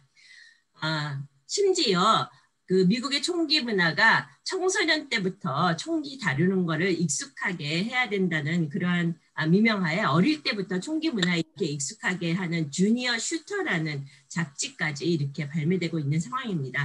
이렇게 미국의 총기 사, 사고가 다반하는데도 어, 없앨 수 있는 것은 법을 개정하려면 굉장히 힘든 것이 어, 전미 총기협회 막강한 로비뿐만 아니라 개헌의 문제가 있기 때문입니다. 왜냐하면 미국 수정헌법 2조에 무기를 소지하고 휴대할 시민의 권리를 명시하고 있기 때문이죠.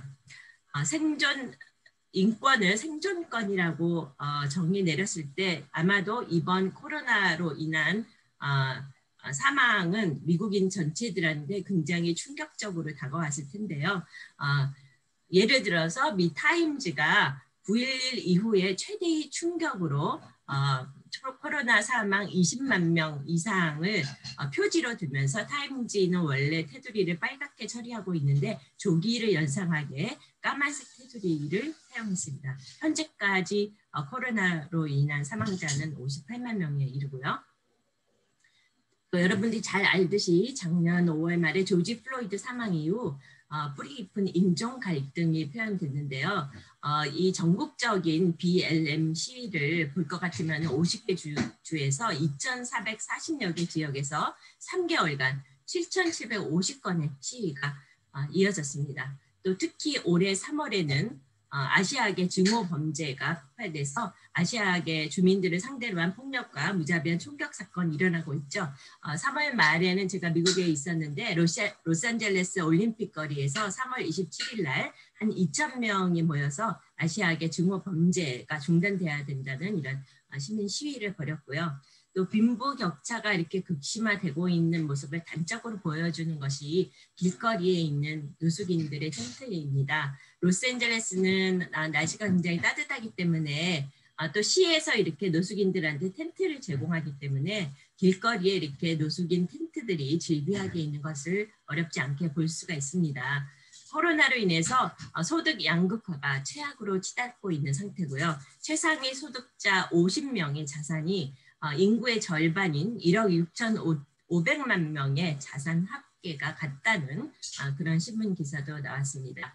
이렇게 어, 미국의 인권 사, 상황이 생존권 면에서 볼 때 열악한데 가장 큰 것은 미국이 전쟁 국가로 전쟁을 계속하고 있기 때문에 2차 대전 이후 발생한 전 세계 250개 전쟁 중에 200개 이상이 미국에 의한 전쟁이고 연간 국방비를 볼 때는 2위에서 12위 국가들 국방비 합산한과 맞, 맞, 맞먹는 그런 어마어마한 국방비 전 세계 1위로 어, 무기 관련된 어, 예산을 쓰고 있죠. 어, 이 시위 장면은 작년도 1월에 맨하탄에 등장한 반전 시위 때 미국을 어, 아메리카가 아닌 워메리카로 미국 시민이 이렇게 구호를 들고 나왔는데 미국의 전쟁 국가의 속성을 가장 잘 보여주는 구호가 아닌가 생각합니다.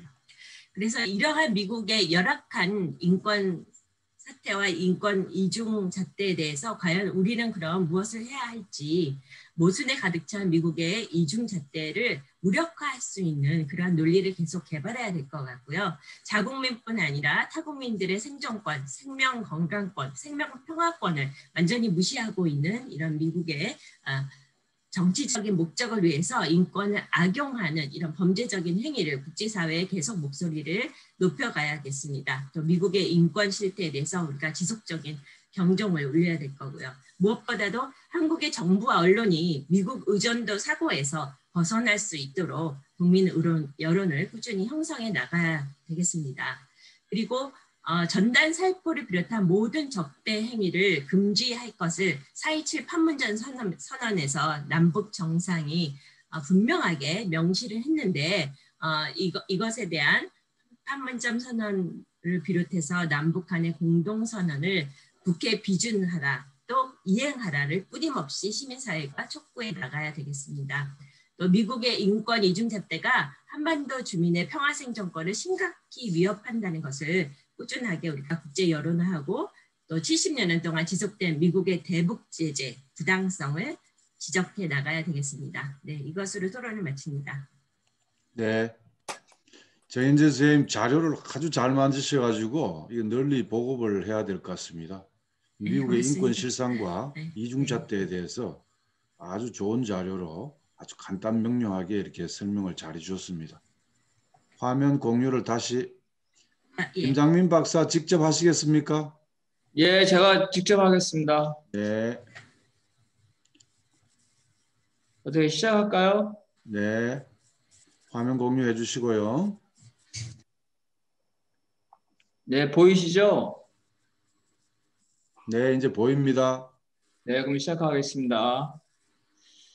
먼저 이제 미국의 그 민주주의와 인권에 대한 음, 전략을 보면요. 어, 미국의 가치, 미국처럼 되고 싶어 하는 나라는 이제 미국을 롤모델로 살고 어, 미국의 동맹이 되겠죠. 어, 그래서 이럴 경우에는 이제 그 미국식의 생활 방식이라든가 철학, 종교 이런 것들을 할 경우에 미국은 이제 최소 비용으로 어, 세상을 지배할 수가 있습니다.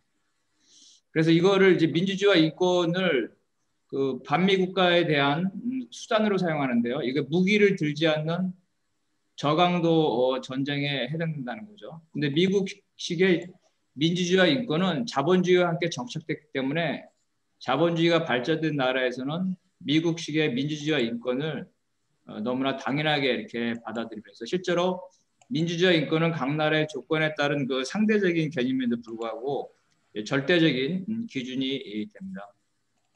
미국 자신도 이제 인권 문제가 많은데요. 어, 미국이 말하는 기준, 그죠? 어, 자유권이라든가 민주주의에 관한 문제, 미국에 많은 말하는 기준에 상당히 문제가 많습니다. 관터나모, 아프간, 이라크에서 테러와의 전쟁 시절에 그 미국은 그 전 세계 수십 군데에서 강제 수용소를 운영했고요. 고문을 했습니다.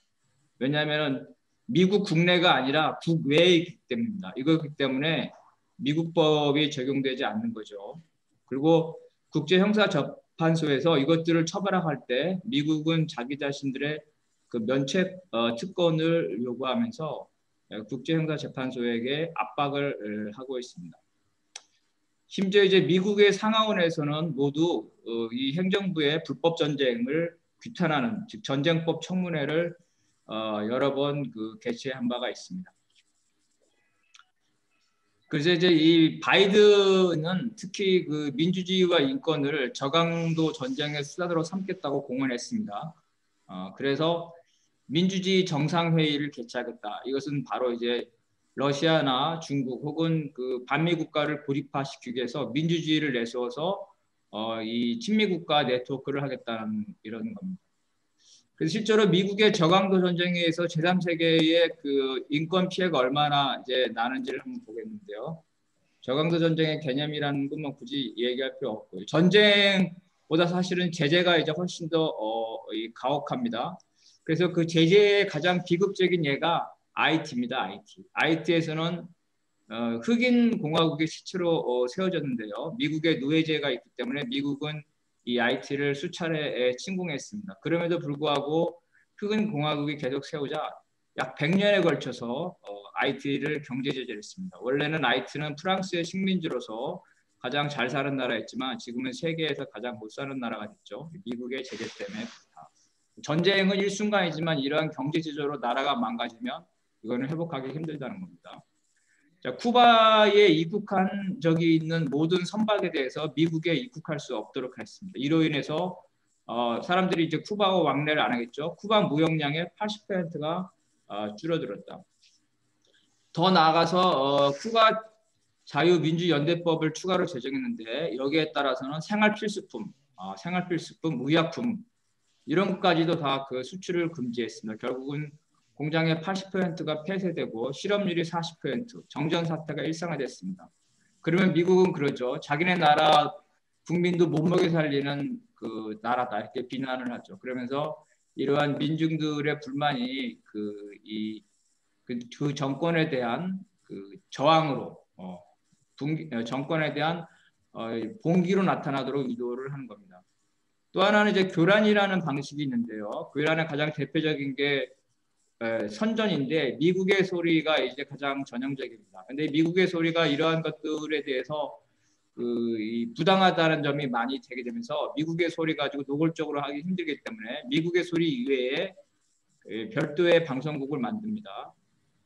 대표적인 게 자유아시아 방송이고 중국이나 어, 이제 그 조선에 대해서 주로 이렇게 특정화돼서 어, 노골적으로 그 체제를 전복하는 그러한 그 방송들을 하고 있습니다. 우리가 잘 알고 있는 헝거리 헝거리 반란이라는 것도 사실은 그 자유 유럽 방송에서 헝거리 사람들한테 이 그 이이 이 뭐야 선동을 하면서 마치 그 헝거리 사람들이 선동을 해서 공기를 일으키면 미국이 개입할 수 있는 것처럼 이런 식으로 어, 자극을 줬다는 겁니다. 그로 인해서 사람들이 엄청나게 많이 죽었죠. 그래서 그 미국의 그 CIA나 이런 쪽에서는 헝거리 이 런 봉기가 미국의 그 이 공작 선동의 실패작으로 내부 평가를 하고 있답니다.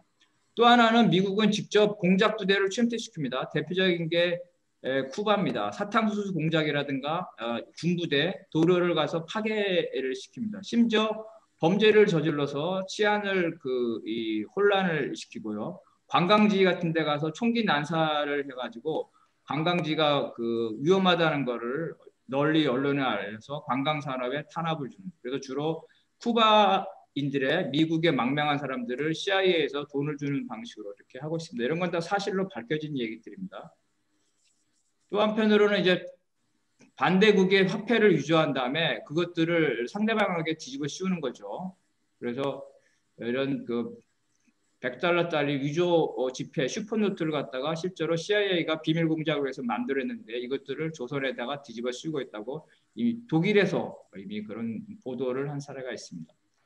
미국은 이제 마음에 안 들면 다른 나라를 전복을 하기도 하는데요. 그 전복하는 방법은 어, 이 옛날에 영국이라든가 이런 제국주의한테 물려받았기 때문에 상당히 교묘합니다.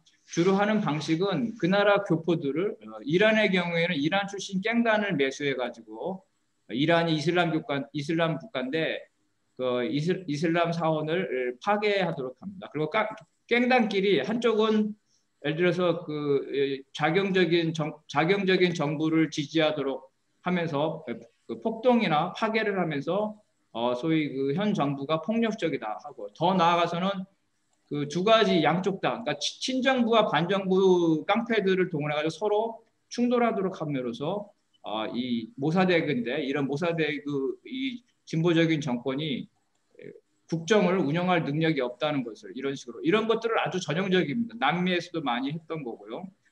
암살도 이제 외교 수단으로 사는데요. 쿠바 미사일 사태 이후에 소련과 미국과의 합의에서 미국은 쿠바를 공식적으로 침공할 수가 없었습니다. 그래서 카스트로에 대한 비밀 공작으로 암살을 하게 되는데요. 그래서 이미 밝혀진 것만 해도 24번이고 어, 24번이 이미 밝혀졌습니다.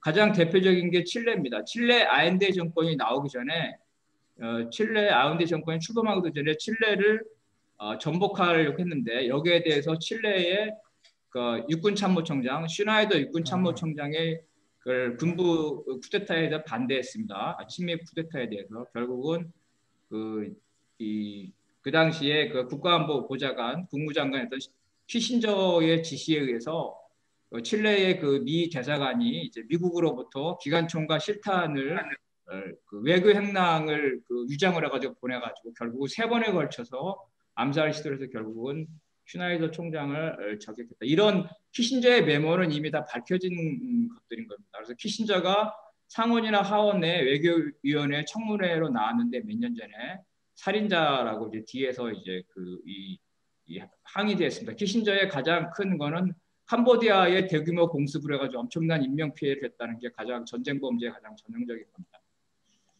그 다음에 또 우리가 잘 모르겠는 게 항행의 자유가 있습니다. 항행의 자유라는 거는 어, 공해상이라는 이유로 예, 남의 나라 인접에까지 가는 건데 주로 하는 게 이제 소련이나 러시아, 중국 이런 군함과 전투함에 몇십 미터까지 접근해 가지고 일부러 충돌 직전까지 유기를 고조시키는 거죠. 어, 이런 형태가 하고 있는 거고요. 잘 알고 계시다시피 조선에 대해서 핵 공격을 할 수 있는 전략 폭격기를 항행의 자유라는 이유로 어, 동원을 합니다. 이제 항행의 자유는 전쟁을 유발하기도 하는데요. 잘 알고 있는 통킹망 사건, 또 항행의 자유로 그래서 그 베트남, 북베트남의 근접에 접근해서 여기에 대한 충돌을 이유로 그 전쟁을 하는 이런 형태입니다. 잘 알고 있는 푸에블로가 아, 그 조선에 대해서 항행의 자유라는 걸 갖죠. 근데 항행의 자유라 침해하면서 상대방을 한번 그 시험을 상대방의 군사력을 시험해 보거나 아니면 상대방의 군사력이 약했을 경우에는 실제로 영공을 침해합니다. 어, 푸에르블로 말고 1969년에 정찰기 이시리 121기 이런 영공을 침해해 가지고 어, 조선에 의해서 격추당했습니다. 이러한 격추당한 게 제가 아는 것만 해도 한 두 번 정도 알고 있고 그다음 미국의 첨단 무기, 어, 첨단 폭격기나 전투기의 조종사들의 증언에 의하면은 그 이 북 자기네들의 그 북의 그 방공망을 실험하기 위해서 어 그 이 북의 영공까지 깊숙이 예, 들어갔다가 나오는 그러한 훈련들을 하게 한다고 합니다.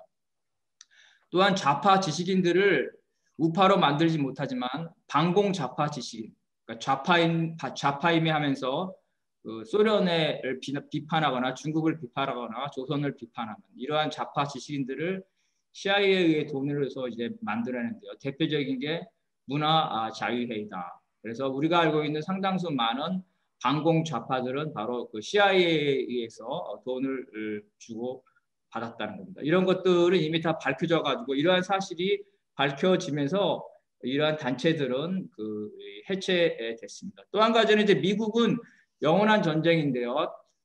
어, 9.11 테러 이후에 그 전쟁법 이 전쟁법에 의하면은 9.11 테러를 실행했거나 도와주었거나 테러 용의자를 숨겨준 국가뿐만 아니라 개인, 집단 모두에 대해서 언제 어디서든지 필요한 방법을 통해서 전쟁을 수행할 이게 말 그대로입니다. 어, 언제 어디서나 누구에 대해서 할 수 있는 이러한 전쟁 권한을 줬고요. 그래서 미국은 모든 것이 다이 9.11 테러를 한 어, 텔레반, 텔레반과 관련이 있다는 이유로 어, 전쟁을 합리화하고요.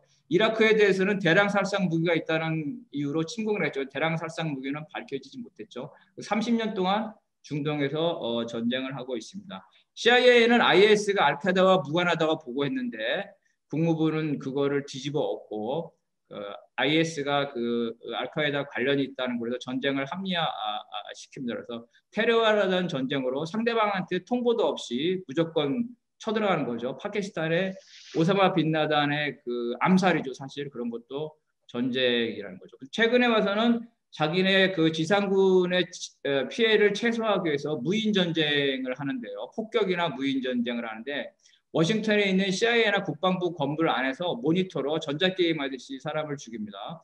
브라이언트라는 사람은 5년 동안 1629명을 살해했는데 이거를 양심 선언을 했고요.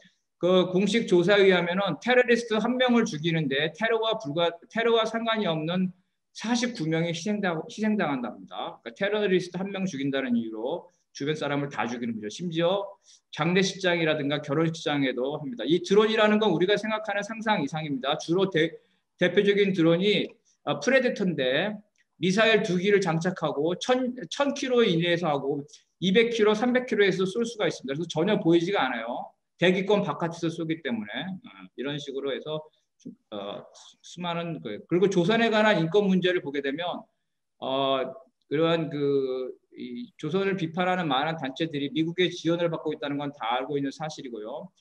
유엔 인권위원회에서 인권 결의안이나 이런 게 됐을 때 대표적인 인간이 신동혁이라는 사람인데 아, 그래서 이 사람의 증언으로 했는데 이 사람은 이제 그 주, 주장이 허위라는 거에 밝혀져서 자기 페이스북에 스스로 자기도 일부가 허위다. 그리고 이순옥이라는 사람은 뭐 그 정치범 수용소에 돼 있다 그러는데 실제로는 경제범 수용소였다. 이런 사람들이 뭐 기독교인을 대상으로 생체 실험을 한다, 화형, 어, 화형을 한다, 그다음 아기를 삶아 먹었다 이런 식으로 하면서 하원 미국 하원 상원 그다음에 윤권 유엔에 가가지고 증언을 하기 때문에 여기에 대해서 이 증언이 이후에 바로 이제 인권 결의안을 미국에서 한다든지 유엔의 인권 결의안에서도 이 신동혁이라는 사람이 한 게 아주 그 직접적인 계기였습니다. 그리고 어, 수용소 경비대장이라고 증언한 사람들 이런 사람들인데 사실은 이제 유령인 유령인인 거고요. 그래서 정치범이지 않은 사람들이 정치 수용소라고 자기가 이제 실제로 관련한 사람들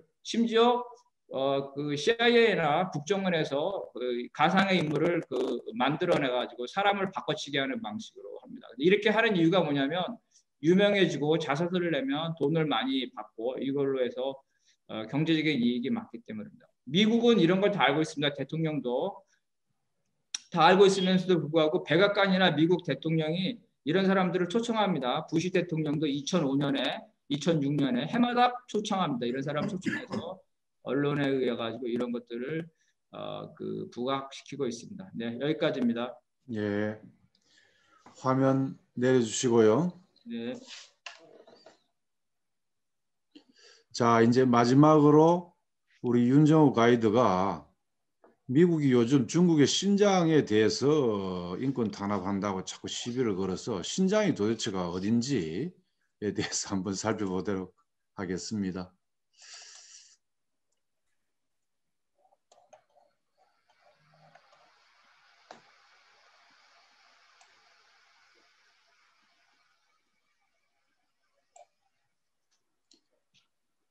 윤정호 가이드 준비됐죠? 예. 네, 얘기하세요. 예. 자, 지금 어, 이 신장, 어, 이 신장에 대해서 알아보도록 하겠습니다. 이 신장은 어, 이 중국말 발음으로 신장이라 그러는데 어, 저희는 이 제가 중국에 있고 이러다 보니까 저 어렸을 때부터 이 신강 그 이 중문 그대로 발음을 하다 보니까 신강이라고 발음하는 게 조금 더 어, 편한 것 같아요. 그래서 신강이라고 어, 말을 하도록 하겠습니다. 소장님 내려주세요. 이 신강 위치는 어, 이 아래 지도에서 보듯이 중국의 최서북단에 있는 지역입니다. 이 신강 이 신강이 이렇게 했는데 여기는 어, 이 중앙아시아에 가깝습니다. 여기에 넘어가면 어, 서쪽으로 넘어가면 바로 가자흐스탄입니다. 그리고 북쪽으로는 러시아, 남쪽으로는 아프가니스탄 모두 8개 나라와 어, 인접하고 있는 그런 곳입니다. 이 신강 위그르 자치구 여기에 대해서 간단하게 알아, 알아보면 어, 이 신강 위그르 자치구 금방 지도에서 봤던 그만큼만 어, 그 땅을 얘기를 하는데 면적은 166만 평방 킬로미터요. 이 신강 위그르 자치구의 어, 전체 면적은 중국 전체 중국의 6분의 1이라고 합니다. 그리고 인구는 2,500만 가량 살고 있습니다.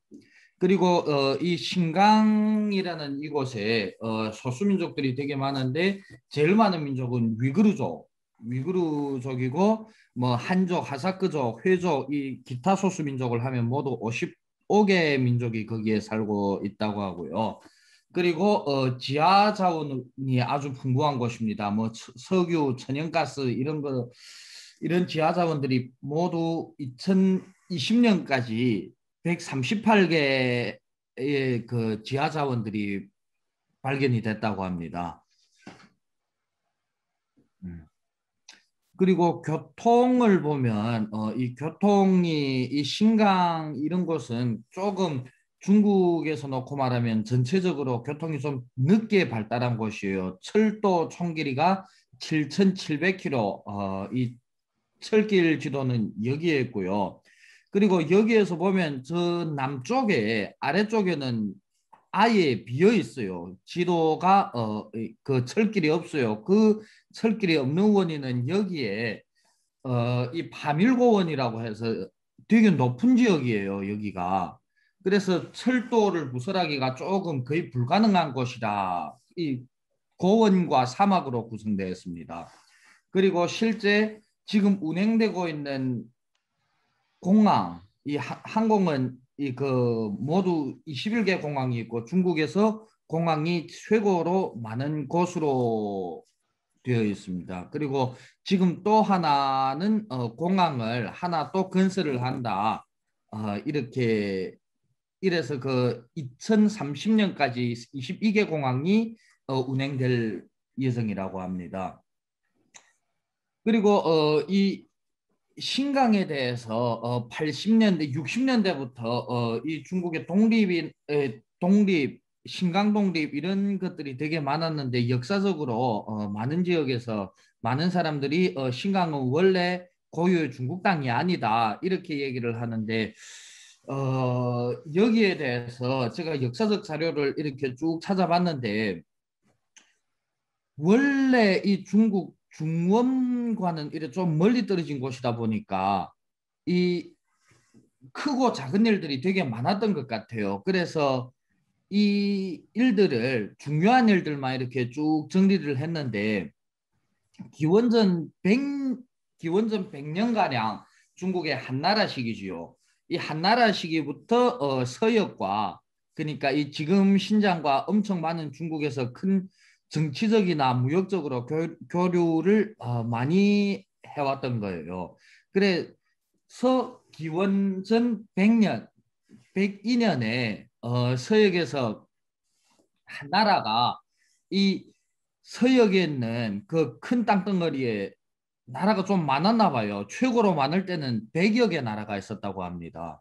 그래서 서, 그 기원전 102년에 어, 서역에 있는 신장에 있는 18개 나라를 어, 수복하면서 이때로부터 중국과 이 신장의 그 이런 무역이 이, 그, 이 무역이나 정치적으로 이 왕래가 있었다 이러는데 제가 봤을 때는 실제 그 훨씬 전부터 있었을 것 같아요. 중국의 진나라가 진시황이 중국을 통일하면서 이 나 임금의 황금 황제의 황제의 그 권력을 이 상징하는 옥새 황제의 도장이 있는데 그 황제의 도장 옥새에 그이 자재가 바로 이 신장 그쪽에서 온 옥이라고 합니다. 그 신장에 있는 돌을 깎아서 만든 도장을 어, 중국의 최초의 옥새로 만들었다 이런 것들을 봤을 때는 어, 훨씬 그 전부터 무역적으로 혹은 뭐 여러 가지로 이렇게 왕래가 있었다 하는 것을 보, 보완할 수 있습니다. 그리고 어, 기원전 60년에 한나라에서 어, 투르판이라는 곳에 서역 도호부라는 이런 행정기구를 설립을 합니다. 그러다가 어, 기원전 76년에 아니, 서기 76년에 130년 가량 지나서 거기에 살던 그 현지 원주민들이 뭐 여기에서 뭐 잠창국이나 쿠시, 쿠시나국 어, 이런 나라들에서 어, 정변을 일으켜서 서역도부를 함락을 하고 다시 이탈이 되는 거예요 중국에서. 그거는 지금부터 2000년 전의 이야기인데 어, 여기에서 어, 이 보면 이 신장 위구르 자치구라는 곳은 사람들이 생긴 것도 이 우즈베키스탄, 가자, 가자흐스탄 여기 사람들과 하고 비슷하게 생기, 생기고 이런 종교적으로도 보면 저 종교적으로도 보면 이슬람교랑 많습니다. 그래 이 이슬람교가 많은데 지금 여기에서 제가 얘기했던 이 구, 구시나국이라는 이 자료를 보니까 이 자료는 국교가 불교더라고요. 그래서 보면 2000년 전에는 여기가 이슬람 지역이라고 하기보다는 이 불교와 이슬람교와 그리고 중국의 도교 이런 여러 가지 종교가 많이 섞여있던 이런 곳이었던 것 같아요. 그러면서 점점 역사가 흘러가면서 이슬람이 여기에서 주도적인 이런 역할을 했던 것 같습니다. 내려주세요. 예, 그리고 어, 수당 시기, 이 수당 시기는 어, 중국에서 대략 300년 동안 어, 300년 동안 이 중국 역사에서 있었던 시기인데 이 수당 시기에 보면 이 수나라부터 당연히 그 전부터 흉노랑 중국이 전쟁을 엄청 많이 했는데요. 이 흉노와 중국이 이 세력 교체기 때 이 신장 위그르 쪽이나 이 신장 여기 정권들은 항상 중국과 흉노 중에서 흉노, 돌골 이런 민족들 중에서 이 좀 어디에 강하면 어디로 치우치는 그런 경향이 있었나 봐요. 그러면 그러다가 어, 서기 609년에 수양제가 서역의 27국을 수복을 하면서 어, 이 수복을 하는 것도 먼저 돌고를 무찌르고 어, 이 서역을 신장을 수복을 합니다. 그리고 어, 서기 640년에 당나라군이 어, 고참이라는 곳이 지금의 두루판이라는 곳인데 이 두루판이라는 곳은 포도와 양꼬치로 되게 유명한 곳입니다. 이 두루판을 점령하고 여기에다가 어, 이 서역도호부 그 한나라 때 서역도호부였던 이곳을 안서도읍으로 개칭을 합니다. 그래 이 안서도읍으로 개칭을 한다는 것은 여기에서부터 중국의 최동단과 최, 최서단을 어, 이렇게 오늘날의 최동단과 최서단을 이렇게 그, 그 프레임이 여기에서부터 나왔던 것 같아요. 그 단동을 이때 안동도 안동도, 예, 안동도부라 그랬잖아요. 그래서 안서도부는 신장 위그르에 있었다 이 말입니다. 그리고 어, 그 사이에 거기 민족이나 이 정치인들이 이 수많은 전쟁과 그리고 뭐 군사정변 이런 거를 하면서 권력이 많이 교체가 됩니다. 그러다가 청나라 때 들어와서 청나라 때 들어와서 이 또 몽골과 전쟁을 많이 합니다. 그래 이 몽골과 전쟁을 많이 하는데 이 전쟁을 하는 사이에서 신강을 또 다시 한번 어, 이 중국 판돈에 이렇게 집어넣어 버리는데 여기에서 보면 1840년부터 중국은 어, 1840년 제1차 편전쟁으로부터 이 중국은 좀 이 구미 열강들의 침략을 많이 받습니다. 그리고 역사에서 보면 엄청 많은 어, 엄청 많은 이런 불평등 조약을 체결을 했다. 저도 학교에서 배운 역사로 이래 보면 중국은 1840년부터 100년 동안 그냥 침략만 당하고 뭐 어디에서 전쟁에서 이기지도 못했는가 이런 거를 이렇게 알았는데 이 청나라 때 1878년에 78년부터 81년 사이에 러시아와 짜리 러시아와 3년 동안 전쟁을 해서 이 신강 오늘날의 이 신강 이 땅을 중국에서 이 수복을 해 오더라고요. 빼앗아 오더라고요. 그리고 1882년에는 어, 중국한테 유리한 중러 1위 조약을 체결을 합니다. 그래서 이런 거를 보면 어, 중국이 청나라 말기에 아예 그냥 얻어맞는 처지만 아니었다 하는 이런 것들이 조금 보이더라고요. 이 자료를 정리하면서. 그리고 어, 이 민국 시기, 이 민국 시기라는 거는 1911년부터 1945년 이 시기를 중국 역사에서 민국 시기라고 하는데 청조가 멸망을 하고 어, 이 신강은 이 중국 국군 관할하에 국군 관할하에 들어갑니다. 그리고 그때 어, 국군이라는 거는 이 군벌들이 어, 많은 이런 그 군벌들을 통일해서 만든 이, 어, 이 군인을 국군이라고 그렇게 얘기를 하는데 이 거의 군전 군벌 혼전 시기에서 조금 많은 어, 이 암흑했던 시기였던 것 같아요. 뭐 전쟁도 많았고 어, 지들끼리 싸움도 많았고 이런데 여기에서 1932년에 소련의 도움을 받아서 우루무치 지금 신강의 수부 이때는 적화라고 했습니다. 이 적화라는 곳에 중국 공산당 팔로군 판사처를 성립을 합니다. 1932년도에.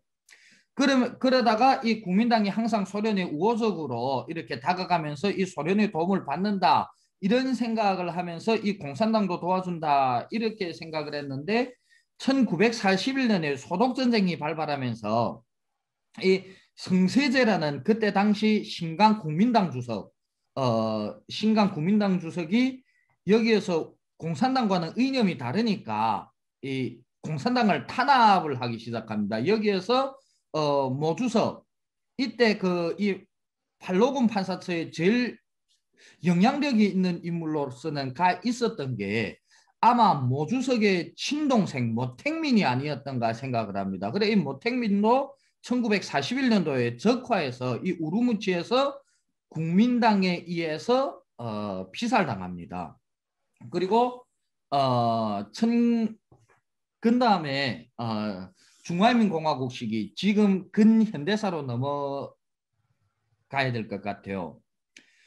1949년에 어, 중국 내전이 거의 끝날 무렵에 어, 우루무치를 어, 함락시킵니다. 중공군이 우루무치를 함락을 시키고 전체 166만 평방킬로미터인 전, 전체 신강 전역을 어, 우루무치 하나를 함락시키는 거로 하여서 평화해방을 어, 시키는 겁니다. 그리고 1955년 신강 위구르 자치조 아니, 자치구를 이래 성립을 하는데 이 신강에는 위구르족만 있는 게 아니라 엄청 많은 이런 그 이 중동 계열의 사람들이 살고 있습니다. 가사흐 민족이라거나 아라사족이라거나 그리고 뭐 이 저희와는 다른 백인과 가까운 그런 사람들이 엄청 많은데 왜 그 중에서 위구르 쪽의 자치 지역을 이렇게 설립을 했는가?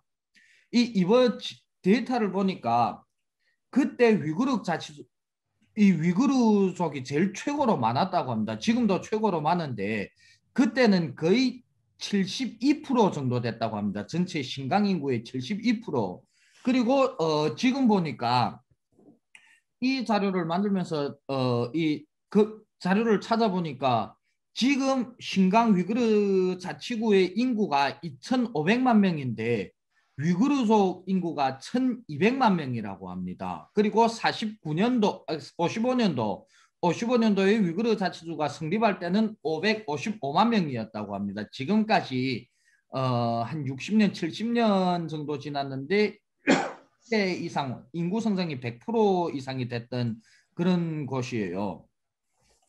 그리고 어, 1962년에 이 중국과 소련이 조금 이렇게 사이가 좀 많이 안 좋아져요. 이 사이가 많이 안 좋아지면서 이 소련의 주도하에서 이 많은 신강 사람들이 소련으로 도주를 하는 사건이 발생했다고 해요. 근데 여기에서 도주했던 사람이 거의 3천 명에서 4천 명 가량 될 거라 이런 어, 자료들이 있고요. 그리고 69년도에는 69년도에는 중, 이 중국과 소련이 토지 분쟁이 이렇게 간단하게 생겼는데 이는 중국에서 이 중국 자료를 찾아보면 중국에서 소련과의 전면전까지 준비를 하고 있었다고 합니다. 그래서 이 그 저희 어머니 세대 사람들의 말씀을 들어보면 이 그때 많은 사람들이 이 방공호를 팔아 많이 다녔고요. 이 중국에서 그때 엄청 많은 방공호를 팠습니다.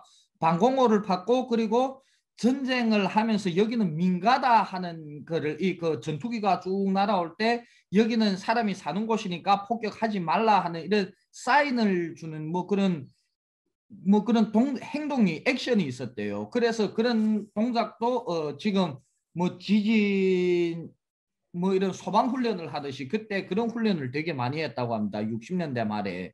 그리고 어 이 이 그 전쟁이 일어나고 이러면서 어 60년대의 정확한 정확한 그 연도는 나오지 않았는데 60년대에 동 돌골스탄 인민혁명당이라는 이런 그 뭐그 그 이거는 중국에서는 종교 극단주의 조직이라 이렇게 얘기를 했는데 이런 조직이 하나가 생겼대요. 그런데 60년대 거의 6, 7년 동안 이 중공당과 이렇게 그 뭐 그냥 그 유격전 비슷한 거 하다가 60년대 말에 어 이 혁명당이 완전 와해가 됐다.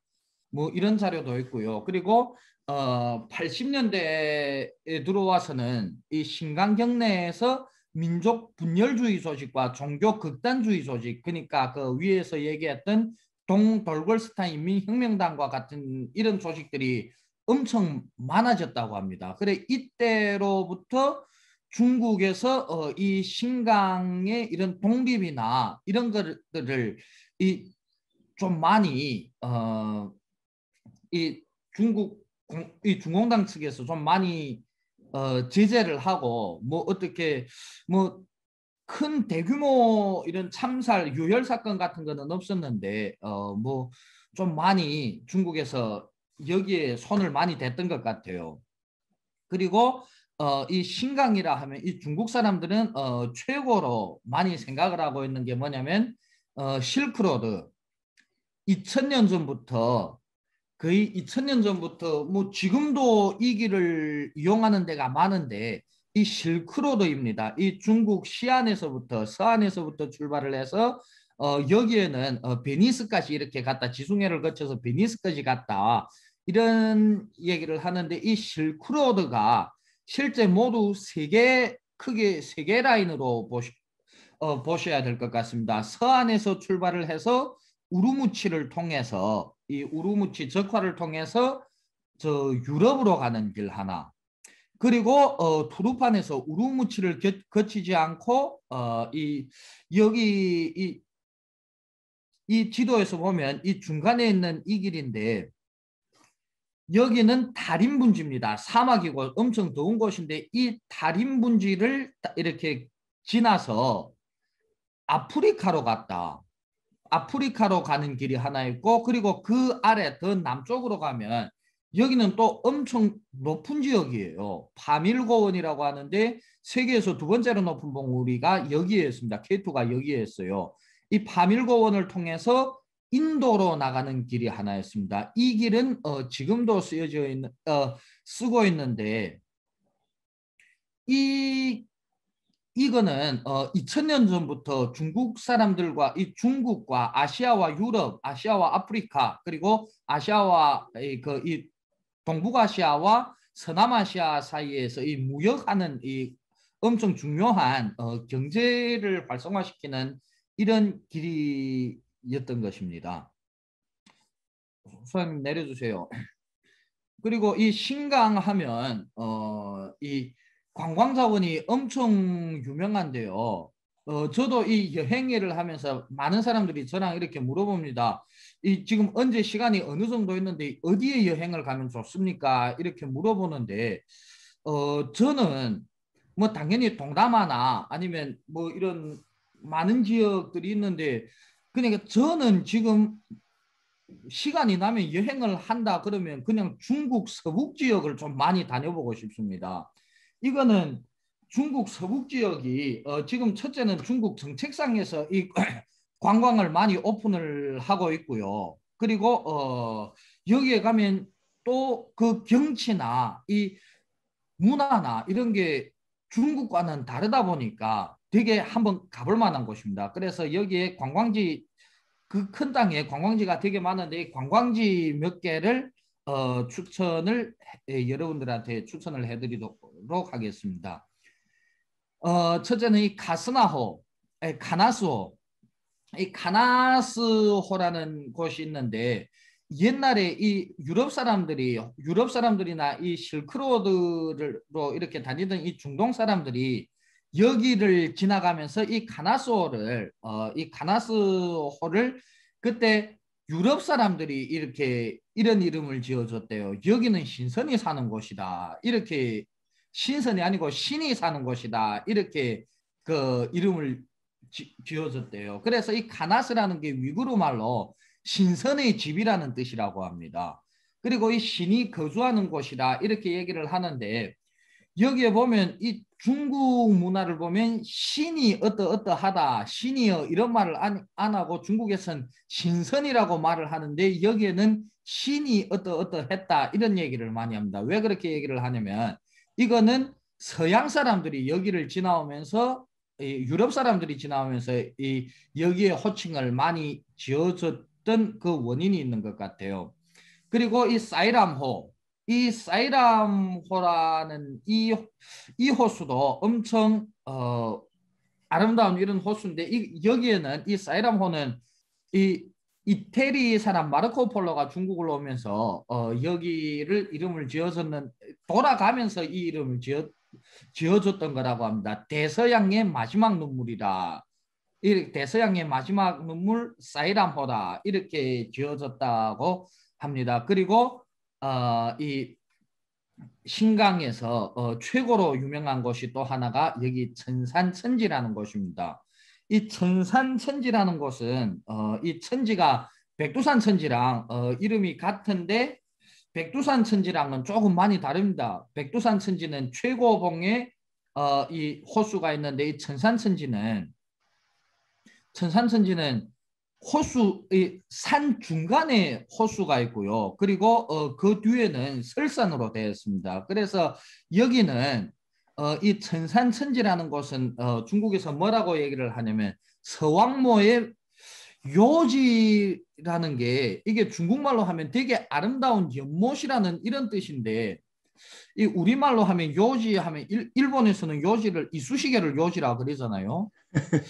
그, 래서 이 요지라 이렇게 번역을 했는데 뭐 막 사전을 찾아보고 이러니까 요지라는 곳이 아름다운 연못인데 보니까 이게 목욕탕이라는 뜻도 되더라고요. 그래서 뭐 어떻게 번역을 했으면 좋겠는지 몰라서 그냥 두 가지를 다 여기에다 저, 이, 적어놨는데 이 서왕모의 목욕탕이었던 곳이라고 합니다. 여기는 이 서왕모라는 것은 뭐냐면 중국에서 많은 무협지나 이런 거를 보면 곤륜산이라는 게 많이 나와요. 이 천산 산맥의 남쪽이 곤륜 산맥인데 이 곤륜 산맥을 장악하는 사람이 서왕모라는 그런 사람이 그런 신선이었다고 합니다. 그래서 곤륜 산맥 곤륜산에서 살다가 서왕모가 이 천산천지에서 목욕하고 다시 돌아갔다. 뭐 이렇게 이해를 하면 될 것 같아요. 그리고 어, 이 지금까지 얘기했던 건 이 호수, 이 대표적인 신강의 호수 세계를 어, 이 설명을 드렸고요. 그리고 어, 이런 마을, 이 사람이 여행을 하는 데 있어서 이런 마을도 되게 이렇게 유명한데 신이 노후를 보낼 곳이라 이렇게 썼는데 이것도 이 마르코 폴로 이 중국 여행기에 어, 이렇게 적혀져 있대요. 이 돌아가는 길에 이 신강 위그르 자치구를 이렇게 쭉 지나가는데 거기에 밤에 하늘을 보니까 이 왼쪽 사진을 보면 이 이거 오롤라가 아니고요. 이게 그 어, 여기에서 오롤라는 볼 수 없고 여기가 이 실제 그 별이 빛나는 밤이 개인 날에는 하늘이 이렇게 보입니다. 여기에. 그래 중국에서 최고로 어, 별밤이 아름다운 곳이라 이렇게 얘기를 하는데 이 화목이라는 이런 지명의 이 사람들이 모여 사는 곳이 있는데 초원, 뭐 산, 이 되게 여러 가지로 있는데 여기에서 마르코 폴로가 또 이리 얘기했대요. 신이 나중에 퇴직을 하고 여기에 와서 노후를 보낼 거라 이렇게 얘기를 했다고 합니다. 그리고 어, 또 마을, 이 라포인 마을이라는 게 있는데 어, 이 라포인이라는 이 민족은 위그르계 하나의 소수민족인데 중국에서 라포인을 어, 56개 민족에 들어가지 않습니다. 그래서 이 라포인 마을이 이렇게 했는데 어, 이 라포인 마을은 이 사막 중간에 이런 그 이 신기루 같은 곳에 이래 사람들이 예전에 살던 흔적들이 있고 여기에 가면 어, 이 라포인, 어, 라포인의 어, 이런 생활을 이렇게 볼 수 있습니다. 그리고 어, 지질적으로 어, 지질적으로도 여기 유명한 곳이 많은데 어, 여기에다 쓴 거는 어, 가가타케. 이 가가타케는 이것도 이 번역상의 문제가 이 번역을 하는 게 제가 이거 이 중국에서 자료를 찾고 번역을 하는 게 되게 힘들더라고요.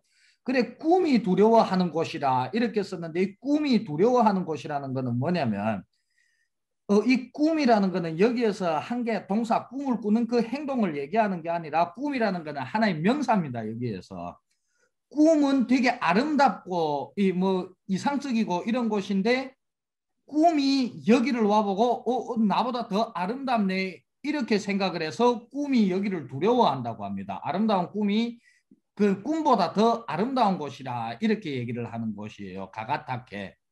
그리고 그 다음으로는 이 지질적으로 보면 이 중국의 중국에서 최고로 더운 곳 화염산 이 왼쪽에 보면 왼쪽에 이 비석이 있는데 이 비석이 뭐냐면 중국에서 해발 0미터인 곳입니다. 여기는 평균 해발이 마이너스예요. 바다보다 수평면 이그 지표 지표 이그 해발이 더 낮은 곳이에요. 그래서 여기 0 해발 곳이고요. 이 왼쪽의 사진은 오른쪽의 사진은 저 막대기가 하나 있는데 이게 뭐냐면 이 해발이 낮다 보니까 엄청 더운 곳입니다. 여기가 온도계예요. 이거를 이 사진을 보면 어 지금 55도 정도, 55 섭씨도 정도를 이렇게 하고 있는데 제가 여기를 가봤을 때 최고로 더울 때 78도까지 되더라고요. 그리고 사우나와는 다른 게 여기는 전혀 사막이다 보니까 전혀 여기는 어, 습기라는 게 없이 그냥 더운데 그냥 이렇게 건조한데 70도, 80도 여기는 1년 연 평균 기온이 35도라고 합니다. 그래서 중국에서 최고로 더운 곳. 어, 이 신강에 관광지가 되게 많은데 어, 뭐 대표적으로 이 일곱 개만 이렇게 정리를 하고 어, 여기서 마치도록 하겠습니다. 네, 고생했습니다. 어, 네. 미국이 계속 중국 당국의 신장 인권 유린 탄압이라고 하는 그 신장을 한번 쭉 개괄적으로 살펴봤습니다. 오늘 발제 토론을 모두 마쳤는데요. 지금부터는 어, 일단 화면 공유를 내리고 오늘 53분이 들어오셨습니다. 어, 지금부터는 질문을 여러 가지 이제 의견도 좋고 질문도 좋고 1분 내지 2분 정도로 짧게 이렇게 하는 시간을 갖도록 하겠습니다. 어, 채팅방에 질문을 하신 분이 계신가요? 없죠? 그럼 바로 손을 들어주세요. 네. 네. 최형록 선생님. 네. 그 오늘 어, 풍성한 논의를 드렸다는 생각이 듭니다. 그럼에도 불구하고 그 노동 인권과 계급이란 문제를 전혀 짚지 않아서 유감이라는 생각이 들어요. 아까 그 어, 많은 분이 동의했을 것 같은 강정구 선생님 그 평화 생존권 그리고 건강 생존권이라는 문제와 관련해서 보자면은 평화 생존권에 있어서 중요한 것이 결국 전쟁인데 미국에 있어서 군산 복합체가 주범이고 만약에 그 공장에 있는 노동자들이 파업을 해서 무기를 생산하지 않는다면 전쟁을 할 수 있겠는가? 또 어, 미국에 있어서의 총기 규제와 관련되는 문제이기도 하고요. 그런데 왜 못하느냐? 강정우 선생 지적하셨다시피 미국이 유엔 인권 협약과 관련해서 A조에 있는 것 제대로 지키지 않고 있고 ILO 협약 비준과 관련해서도 미국이 제일 그 비준하지 않는 나라죠. 그러니까 법적으로 미국의 군산복합체에 종사하는 노동자들 사실 IT 업계도 마찬가지고 그 결사권과 파업권을 행사하는 데 있어서 많은 제약이 있다는 겁니다. 또 건강권과 관련해서도 그 오늘 아침에 온 그 이메일 보니까 두 가지가 눈에 들어오는데 한 가지는 그 미국의 제약 회사에서 그 army of lobbyist라는 단어를 썼더라고요. 그러니까 로비스트들을 그 행정부와 국회에 파견해서 generic COVID 19 그러니까 generic이라 한 것은 그 제약회사에서 개발한 그 어, 지적 재산권을 풀어가지고 긴급한 사태에 대응할 수 있도록 한 것이 그 제네릭 의약품 생산이죠. 이런 어, 문제에 있어서도 그 노동의 문제와 관련되는 것이고 아까 그 어, 김장민 선생님 말씀하신 그 드론 공격과 관련해서도 그런데 그 이메일 온 것 중에 보면 국내에 알려진 것처럼 블랙 라이브즈 매터 그러니까 흑인의 생명도 소중하다. 이 사람들에 대해서 드론을 이용해서 감시를 하더라고. 마지막 말씀드리고 싶은 것은 아까도 언급되었지만 칠레 같은 경우에 왜 불법적인 그 아인데 정권을 전복시키는 사태가 일어났습니까? 아인데 정권이 노동 실질적인 의미에서도 노동 존중의 사회로 가기 위한 정권이기에 전복을 시킨 거죠. 한 가지 굉장히 주목할 만한 것은 지금 AI 혁명을 얘기하고 있는데 칠레에서는 사실 AI 혁명을 선도적으로 이용해서 경제에 대한 합리적인 어떤 인식과 통제를 하려고 했어요. 그게 사이버 싱크라고 하는 계획이었는데 에, 아인드 정권이 전복되면서 실패로 돌아갔죠.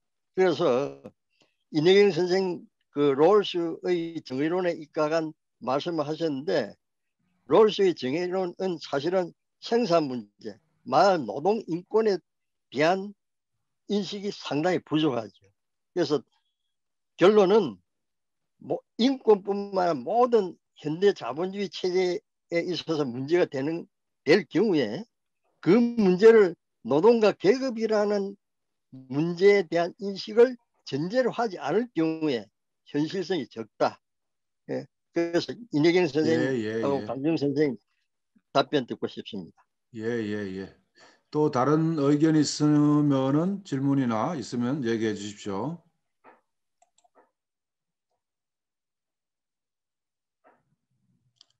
없으십니까? 이내 선생님 답변 조금 해주실랍니까? 뭐 그, 답변의 내용은 아니고요. 예, 주장이고 그, 의견이니까. 유엔 인권 선언문에 보면 한 30조가 돼 있는데 한 10, 10여 조가 어, 사회경제, 생활권에 대해서 아주 상세히 얘기하고 있습니다. 그래서 뭐 에, 인간다운 어, 위험을 지킬 문제라든지 동일 노동 동일 임금의 문제라든지 주거의 문제라든지 상세히 얘기가 되고 있는데요. 다만 할 얘기는 이제 21세기 현재 시점은 산업화 시기가 아니라는 거거든요. 그러니까 이제 탈공업화가 지나서 어 뭐라 그럴까 지식 혁신 시대가 지나가기 때문에 19세기적 어, 산업 관점으로 노동과 계급을 바라봐서는 안 되는 거죠.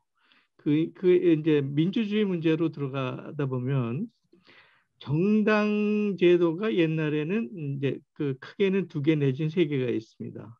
하나는 기득권적인 보수 정당, 그다음에 노동 계급을 중심으로 하는 이제 뭐 진보 정당의 노동당 아, 노동 정당, 그다음에 이제 그 자유 어, 자유주의적인 걸 취하는 자유당 이렇게 세 개가 있는데 어, 현재 그 정당 제도의 한계라는 게 지금은 그런 그 뭐랄까 이 계층 계급의 분류가 어, 안 맞는 너무나 다양한 형태로 이루어져 가지고 어, 지금은 정당을 통한 음, 예, 뭐라 그럴까 시민사회 여론이 현실적으로 와해됐다. 그게 이제 피케티 얘기예요. 그래서 그런 정당 중심의 대의민주주의를 비판하면서 나오는 게 어, 현대적 직접민주주의, 그 MDD라고 하면서 어, 국민 입법제라든지 예, 그래서 다양한 형태의 산업과 다양한 저기들이 그런 음, 계층 계급적 성격이 아닌 시민사회의 총괄의 형태로 해서 법안 거부권이라든지 입법권이라든지 스위스처럼 1년에 네 번씩 국민투표를 통해서 아, 뭐랄까 기존의 계층 계급적 시각이 아닌 새로운 형태의 정치 참여 형태로 발전해 가고 있다. 그라는 형, 거를 얘기하면서 제 얘기를 끝내고 싶습니다. 네, 네, 네. 또 질문 있습니까? 의견이나 오늘 공정원 선생님 의견 없어요? 어, 많은 시간이 지났는데 다른 의견이나 질문이 없으면은 맞춰도 그, 되겠습니까? 잠, 잠깐만요. 네. 아까 여기 채팅방에 보면 제일 위에 이기묘 대표님이 질문해 놨셨는데 네. 저도 요 내용을 좀 질문하고 싶은 부분이기도 한데요. 이기묘 네. 대표님이 뭐라고 하셨냐면 네. 미국의 반인권 문제는 많은 곳에서 수시로 제기하고 시정하라 하지만 고쳐지기는커녕 많은 나라가 꼼짝 못하도록 무력 강화와 제재 강화로 압박하고 있습니다. 이제 미국을 비난하고 시정되길 바라는 건 식상하기까지 한 듯합니다. 미국에 대한 처벌의 실효성이 없으면 소용이 없을 것 같은데 무엇이 이 상황을 타개할 대책이 될까요? 예. 라고 이기묘 대표님이 질문하셨습니다. 어, 저도 어, 여기 네. 궁금합니다. 강재원 선생님 뭐 답변하실 내용 있습니까? 어, 네. 아까 그 최영록 선생님 그 말씀 중에서 노동인권 문제를 제기를 하셨는데 저는 그 민주주의라는 차원에서 그 문제를 좀 중시할 필요가 있지 않을까 싶습니다. 그러니까 제가 민주주의가 민의 통제력과 주, 주체력을 향상시키려면은 파워가 있어야 되잖아요. 그러니까 파워를 이 북돋우는 문제, 파워를 높이는 문제가 이 어느 정도 보장이 되고 해결이 되면은 노동 인권의 문제도 상당히 이제 개선되리라고 보고 우리가 민주주의를 이야기할 때 그냥 형식적인 대의제가 민주주의의 전형인 것처럼 어, 인식을 하는 데서 탈피해서 민이 파워를 행사할 수 있는 그런 구도로 나아가는 게 에, 노동 인권을 신장시킬 수 있는 길이다 하는 그런 생각을 하고요. 조금 전에 그 공정호 선 네, 선생님 선생님이 그 미국 뭐 저렇게 하는데 어떻게 할 거냐.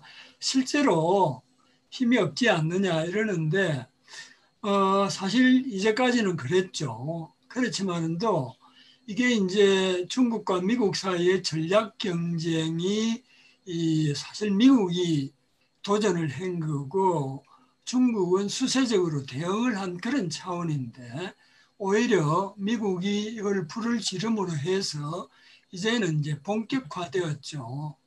어, 저는 이렇게 봅니다.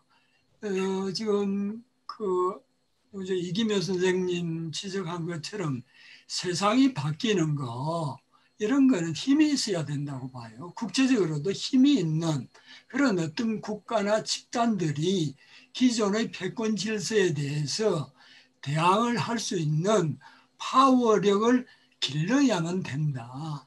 그런 점에서 지금은 미국이 쇠락할 수밖에 없는 구조인데 그러려면 굉장히 시간이 오래 걸려요. 오히려 이런 시간을 더 당겨줄 수 있는 게 미국의 패권 어, 중국에 대한 전략 경쟁 도전이라고 보고 여기에서 그 뭡니까 지금 가치 동맹인가 이런 걸 해서 이 중국을 옥죄는데 오히려 지구촌의 이런 어떤 전략 경쟁이 지구 체제를 개편을 하는 하나의 촉진적인 계기가 되지 않을까. 그래서 이제까지 미국의 유일 패권 체제 하에서 그 수동적일 수밖에 없었지만은도 이제는 그 이대경 선생님이 마지막 도표에서 보여줬잖아요. 행위자와 그 다음에 국면적 요소와 그 다음에 세계 질서의 이 중미 전략 경쟁 이런 구도 속에서는 그런 어떤 미국의 그 패권 행패에 대해서 이 제어를 할 수 있는 그런 어떤 구조적 조건이 점점 더 좋아지고 있다. 좀 더 낙관적인 전망을 가질 필요가 있고 그래서 저는 아, 제가 90살까지는 살아야만 이놈 세상이 바뀌는 것 같고 미국이 이 망하고 세계 질서가 350년, 400년에 이게 자본주의, 제국주의 지배 질서가 무너지고 새로운 어떤 가치관. 그러니까 중국은 패권이나 뭐 이 확장주의를 추구하지 않는다고 그러죠. 그 다음에 공동체주의라든지 생명제일주의라든지 이런 어떤 새로운 가치 문화가 우리 지구촌을 좀 더 이 아름답게 만들어갈 수 있는 토대를 구축하지 않을까. 예. 그래서 좀 더 낙관적 전망을 가질 필요가 있다고 봅니다. 네, 2035년입니다. 2035년에는 세계적인 힘의 관계, 사상, 제도, 문화가 전반적으로 바뀔 가능성이 높고 이걸 촉진하기 위해서는 주체적으로 우리 민이 나서야 된다. 아까 이기모 선생이나 공정혜 선생이 미국의 그 반인권 이 공시에 이 부분에 대해서 실효성 있는 통제 장치가 뭐냐? 그 하늘에서 떨어지는 게 아니고 저는 이제 반미 촛불을 들어야 된다. 지금 한국민이 사안을 여러 사안을 가지고 밑으로부터 분산적으로 활발한데 이걸 하나로 모으지를 현재 못하고 있어요.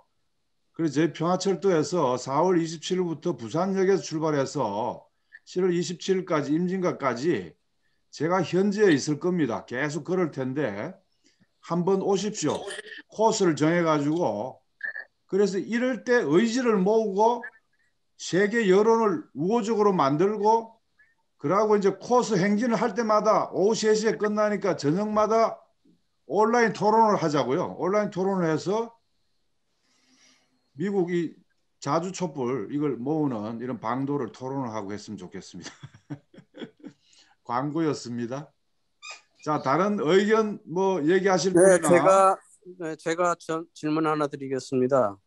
성함을 얘기해 주세요. 네, 저는 저 어, 흥사단 뉴욕 지부에서 활동하는 정광철라고 합니다. 아, 반갑습니다. 네, 반갑습니다. 우리 이내, 이내경 박사님 네. 이 페이스북이나 카톡방에서만 뵀었는데 줌 미팅에서 직접 이렇게 뵙게 되니까 반갑습니다.